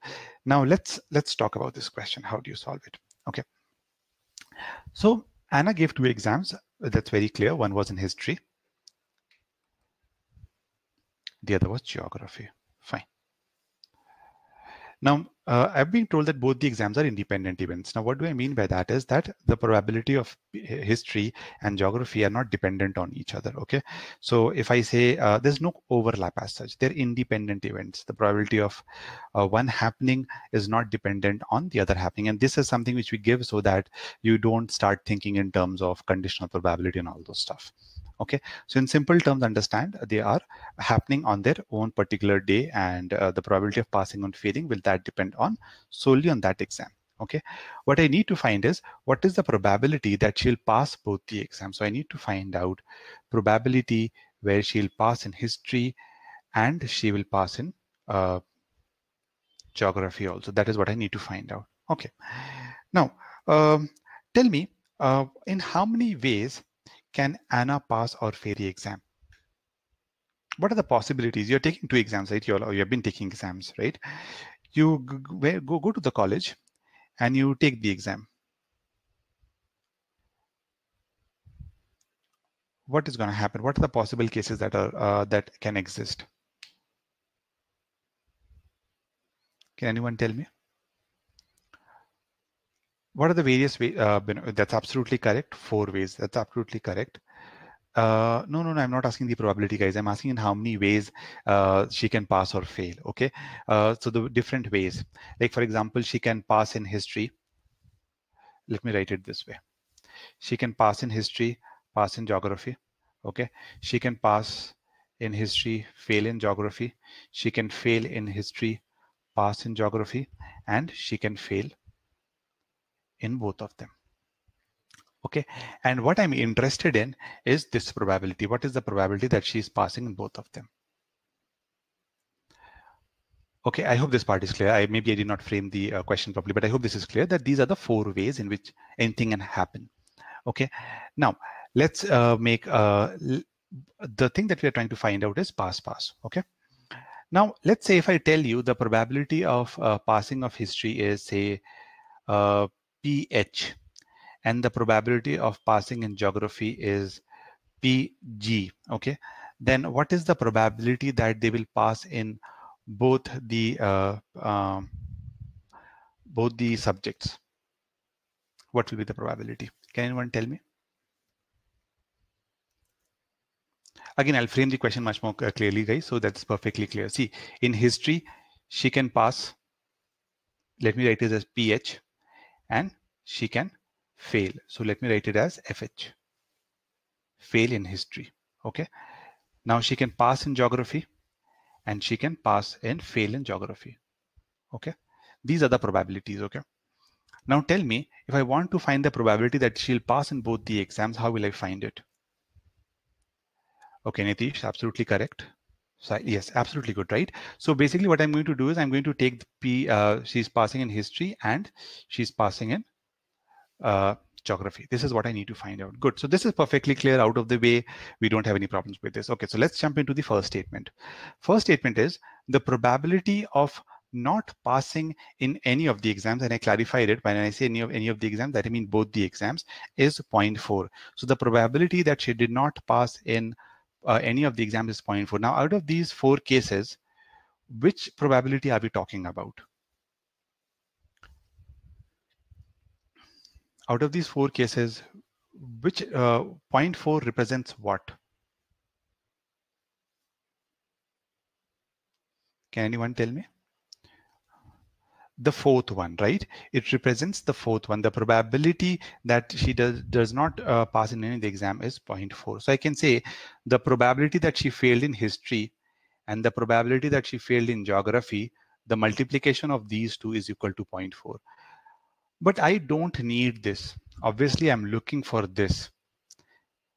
And I just knowing this, I cannot find out my answer, right? Because I don't know what is the probability of uh, passing and failing in history. Obviously, this thing should be clear that the probability for history. So probability, uh, I'm running out of space, but I'll write it here very quickly. The probability that she will pass and the probability that she will fail, this is equal to one, okay? But I don't know the individual. I don't know anything here. I don't know anything at all out of these cases. So I can discard this statement. So if I have my options as A, B, C, D, E, I can say my answers cannot be A or D because statement one is definitely not sufficient. Okay, so I hope this is clear. Okay. Let's go to the second statement. The second statement tells me that the probability of passing only in history exam is 0.5, passing only in history exam. Okay, fine. So now they are telling me just one of them. So they're telling me 0.5. Okay, but I still don't know what is the probability of uh, Anna passing in geography. I don't know that. Okay, since I don't know that, I will not be able to find out my answer. So even this statement is not sufficient. So both these statements are not sufficient. So my answer cannot be A, B, or D. It either has to be C or it has to be E.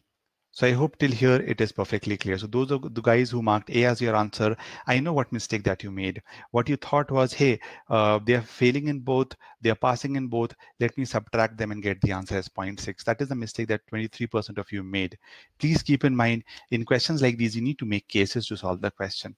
Okay, don't simply jump into saying uh, uh, uh, that it will be uh, total pass or total fail. There are no other possibilities. There are these two possibilities that you fail to consider because of which you mark the answer as A. Okay. Now let's talk about C or E. What will be the case? Now here's an interesting thing. Notice this, that uh, as I told you, the probability of passing and failing for history the sum obviously has to be 1. So if I'm saying that the probability that she pass is 0.5, the probability of passing only in history is 0.5, then that means the probability of failing in history exam, now I'm combining both of them, keep this in mind. Now probability of failing would also be 0.5. So now notice, I know this value. I know this is 0.5. I know this is 0.5. So now I can find out the probability of failing in geography is 0.4 by 0.5, which is 0.8. I can find this out. Now, how does this help me? Again, the probability of passing and failing in geography, the probability of passing and failing in geography is equal to the sum of this has to be one. So either she'll pass or fail. Now, if I know that she's the probability of failing is 0.8, then obviously the probability of passing is 0.2. So now I have both the values. I have 0.5, I have 0.2. So I can find out the probability that she will pass in both. The, what will be the probability that she will pass in both the exams. So guys, please, yeah, uh, the absolute. So guys, please tell me if this is perfectly clear or not.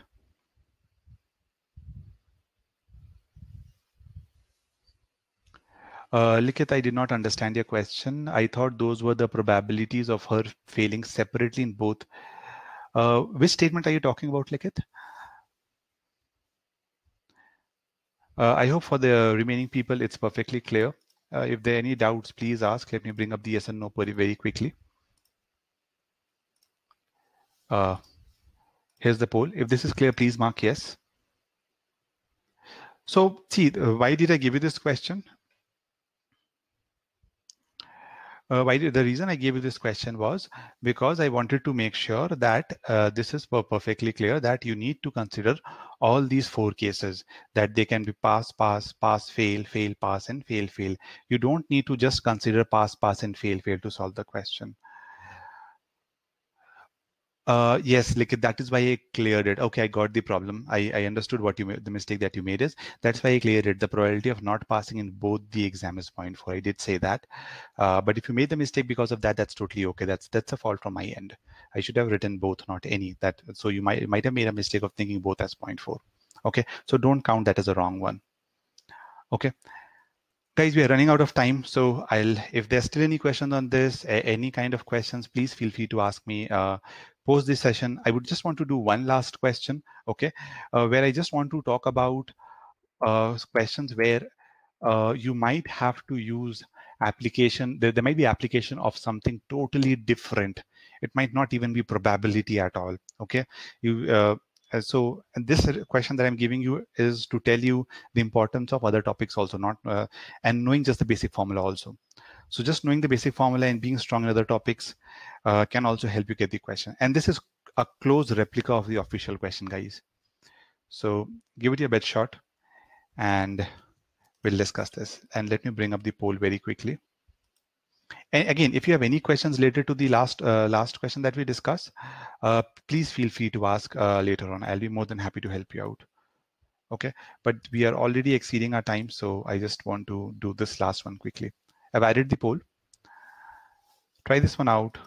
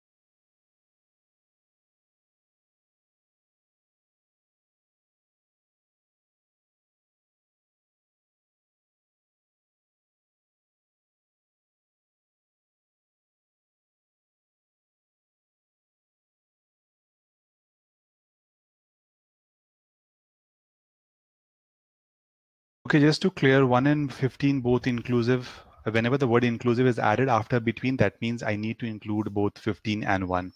Okay, I'm including both of them. That is how it is written in GMAT. They'll, if they want, they want you to include both of them, they would write inclusive, both inclusive, something like that. Uh, if the answer is not matching, I Ayush, don't worry, we'll check it very quickly.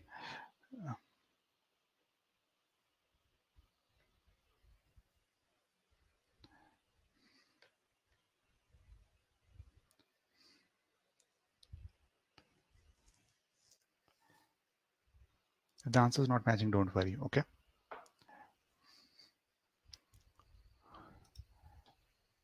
Okay, I can see a lot of responses. Okay, guys, I'm ending the poll now. Let's discuss this very quickly. And uh, okay, tell me, how do you solve such questions? What do you do? How do you approach such questions? Okay, Dhruv is saying 14, Ayush is saying 13. Guys, if there's a mistake in the answer choices, uh, that's totally okay. I'll help you. I'll, I'll, just check it. Not a problem, Dhruv. Dhruv, Ayush, that's totally okay. If you're not getting the answers, we'll quickly check it out. Okay. But uh, let's answer. tell me, how did you find this question and what was the approach that you use?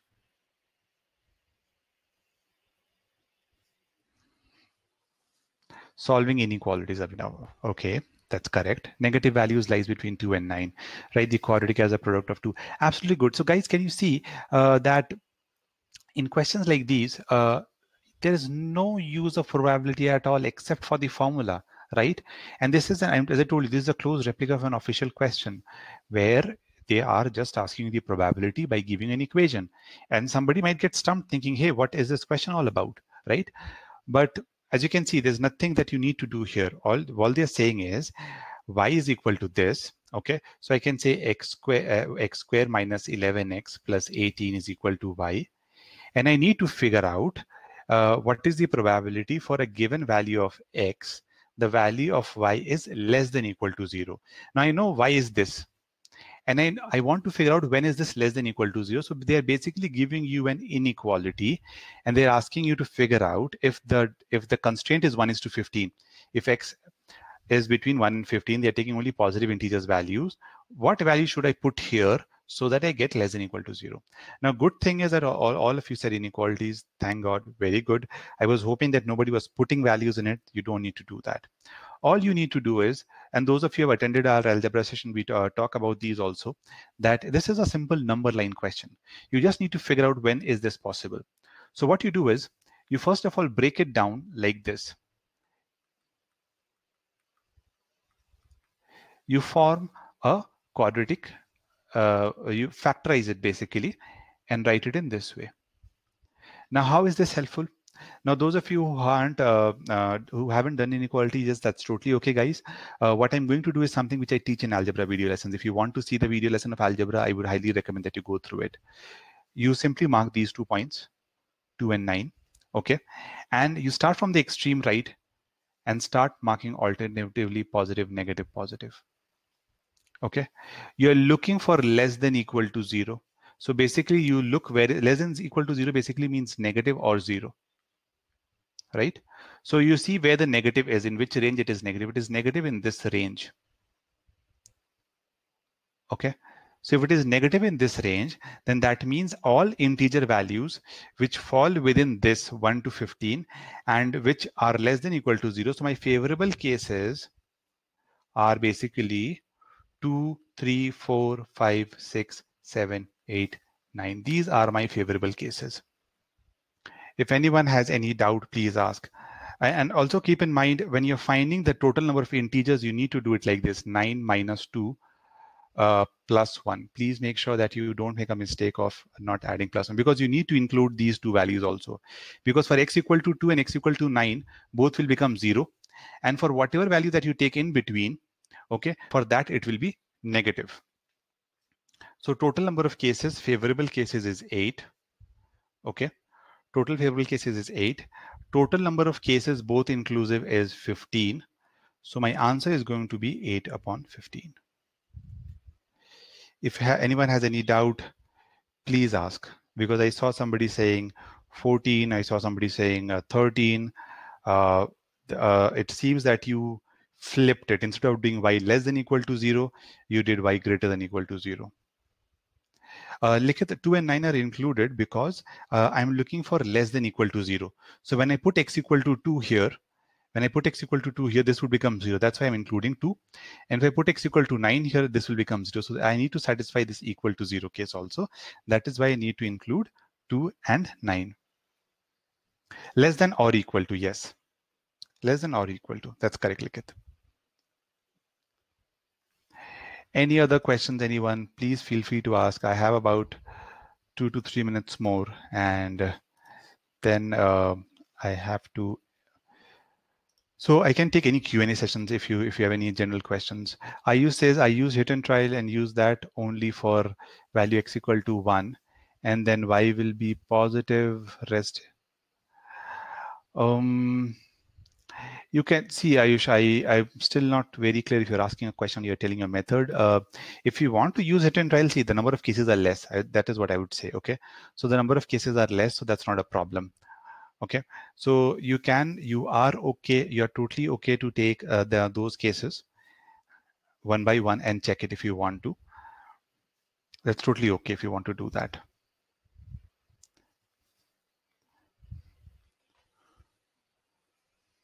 uh, Aishwarya, mutually exclusive events are basically events that cannot basically happen at the same time okay?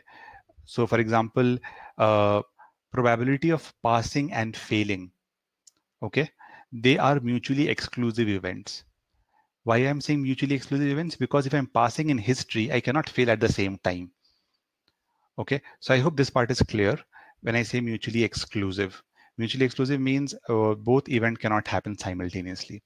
And when i'm saying independent events that means the the event of his uh, of one does not affect the other.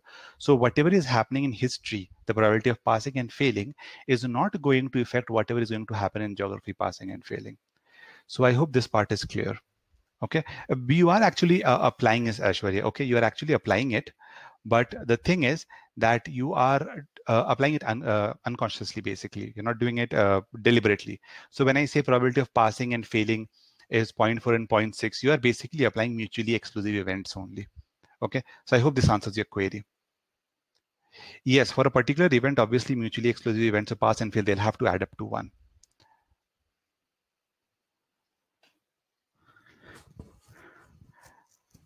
Okay, uh, Ayush says, uh, but uh, using hit and trial only for value x equal to 1, I get y is equal to 0. Apart from that, for any value between 2 and 15. Uh, Ayush, you're making a mistake. You're just taking one case. Uh, see, when I draw the number line, look at my number line. Uh, the one is falling in the positive zone. So you have just checked one case. And you inferred everything about the remaining cases. That's wrong.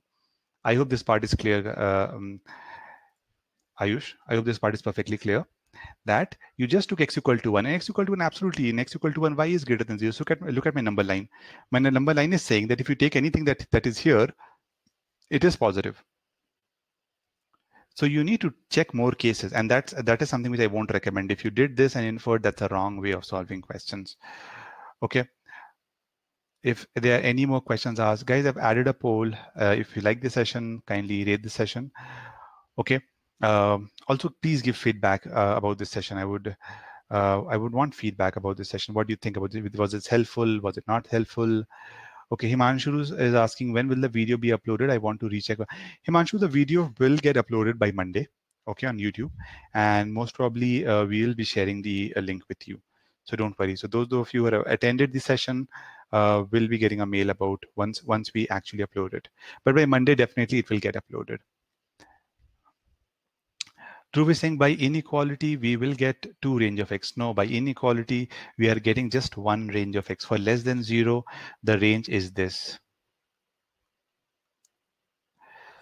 So if you're saying two ranges, then Dhruv, I, I would highly suggest that you go and uh, just go through the inequality video lessons once. Okay, uh, or just look at the uh, at the webinar of algebra. I've talked about it in detail, explained it really. Uh, I'm not saying really well, but really elaborately. Basically, I've explained really elaborately. Uh, so you will be able to help it. Uh, you'll be able to figure uh, figure out when you'll have two ranges, when you'll have single ranges.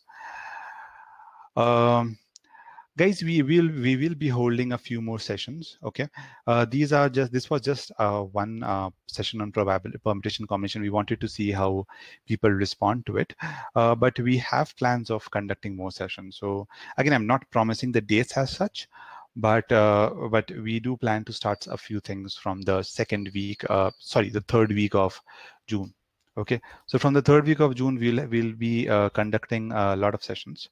Okay? Uh, they won't be per se clearing everything but we will be covering uh, uh pain points of each and every most of the topics as i'll put it so i'll be covering uh, so somebody's asking a session on numbers somebody's saying time and distance we'll be covering it don't worry uh, we will be doing that but it, it should definitely happen by the third week of june okay Uh, Dhruv, uh, uh, x is less than equal to 2 and uh, x is greater than equal to 9. That is the range when you're looking for y is greater than equal to 0. Okay, so I hope this part is clear. When y is, if I, if I ask you, hey, find me the range of x when y is greater than equal to 0, okay, then in that case, the range would be uh, x is greater than equal to 9 and x is less than equal to 2. I hope that answers your query, Dhruv. Okay, uh, Nitish, is PNC completed? Uh, Nitish, you understand that, uh, uh, as I told you, we are just trying to cover some of the pain points that are there in PNC. If you're looking for something which is exhaustive, right? If you want to learn all the methodologies that I talk about, if you want to learn, if you want to practice more questions, uh, they are a part of our paid uh, paid program, right? Where we uh, where we provide everything uh, in two sessions, I've tried to cover as much as possible as I could. But there are other things also, Nitish. You need to look at probability related to dice, coins, cards. There are all those stuff also there. Okay. I hope that answers your query. Uh, Dhruv is asking if the if the x lies between 2 and 9 for y, less than equal to zero. Uh, I, I did not get your question. So basically, when I say x lies between 2 to 9, I just explain it. I hope that answers your query. Uh, for these particular values of x, y will be less than equal to 0.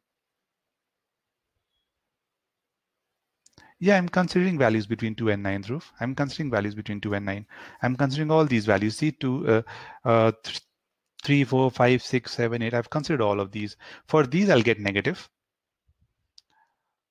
okay.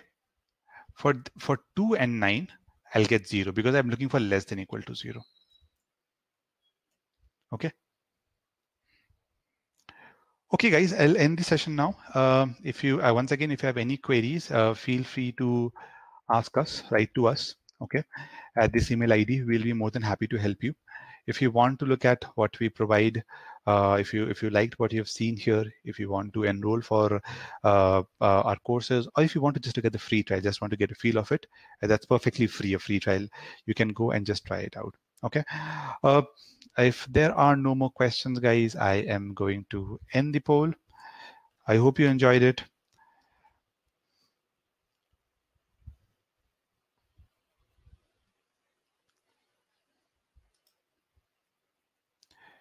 Okay, guys, all the best for your preparation and uh, see you next week with uh, the next session that we have. Okay, bye. Bye.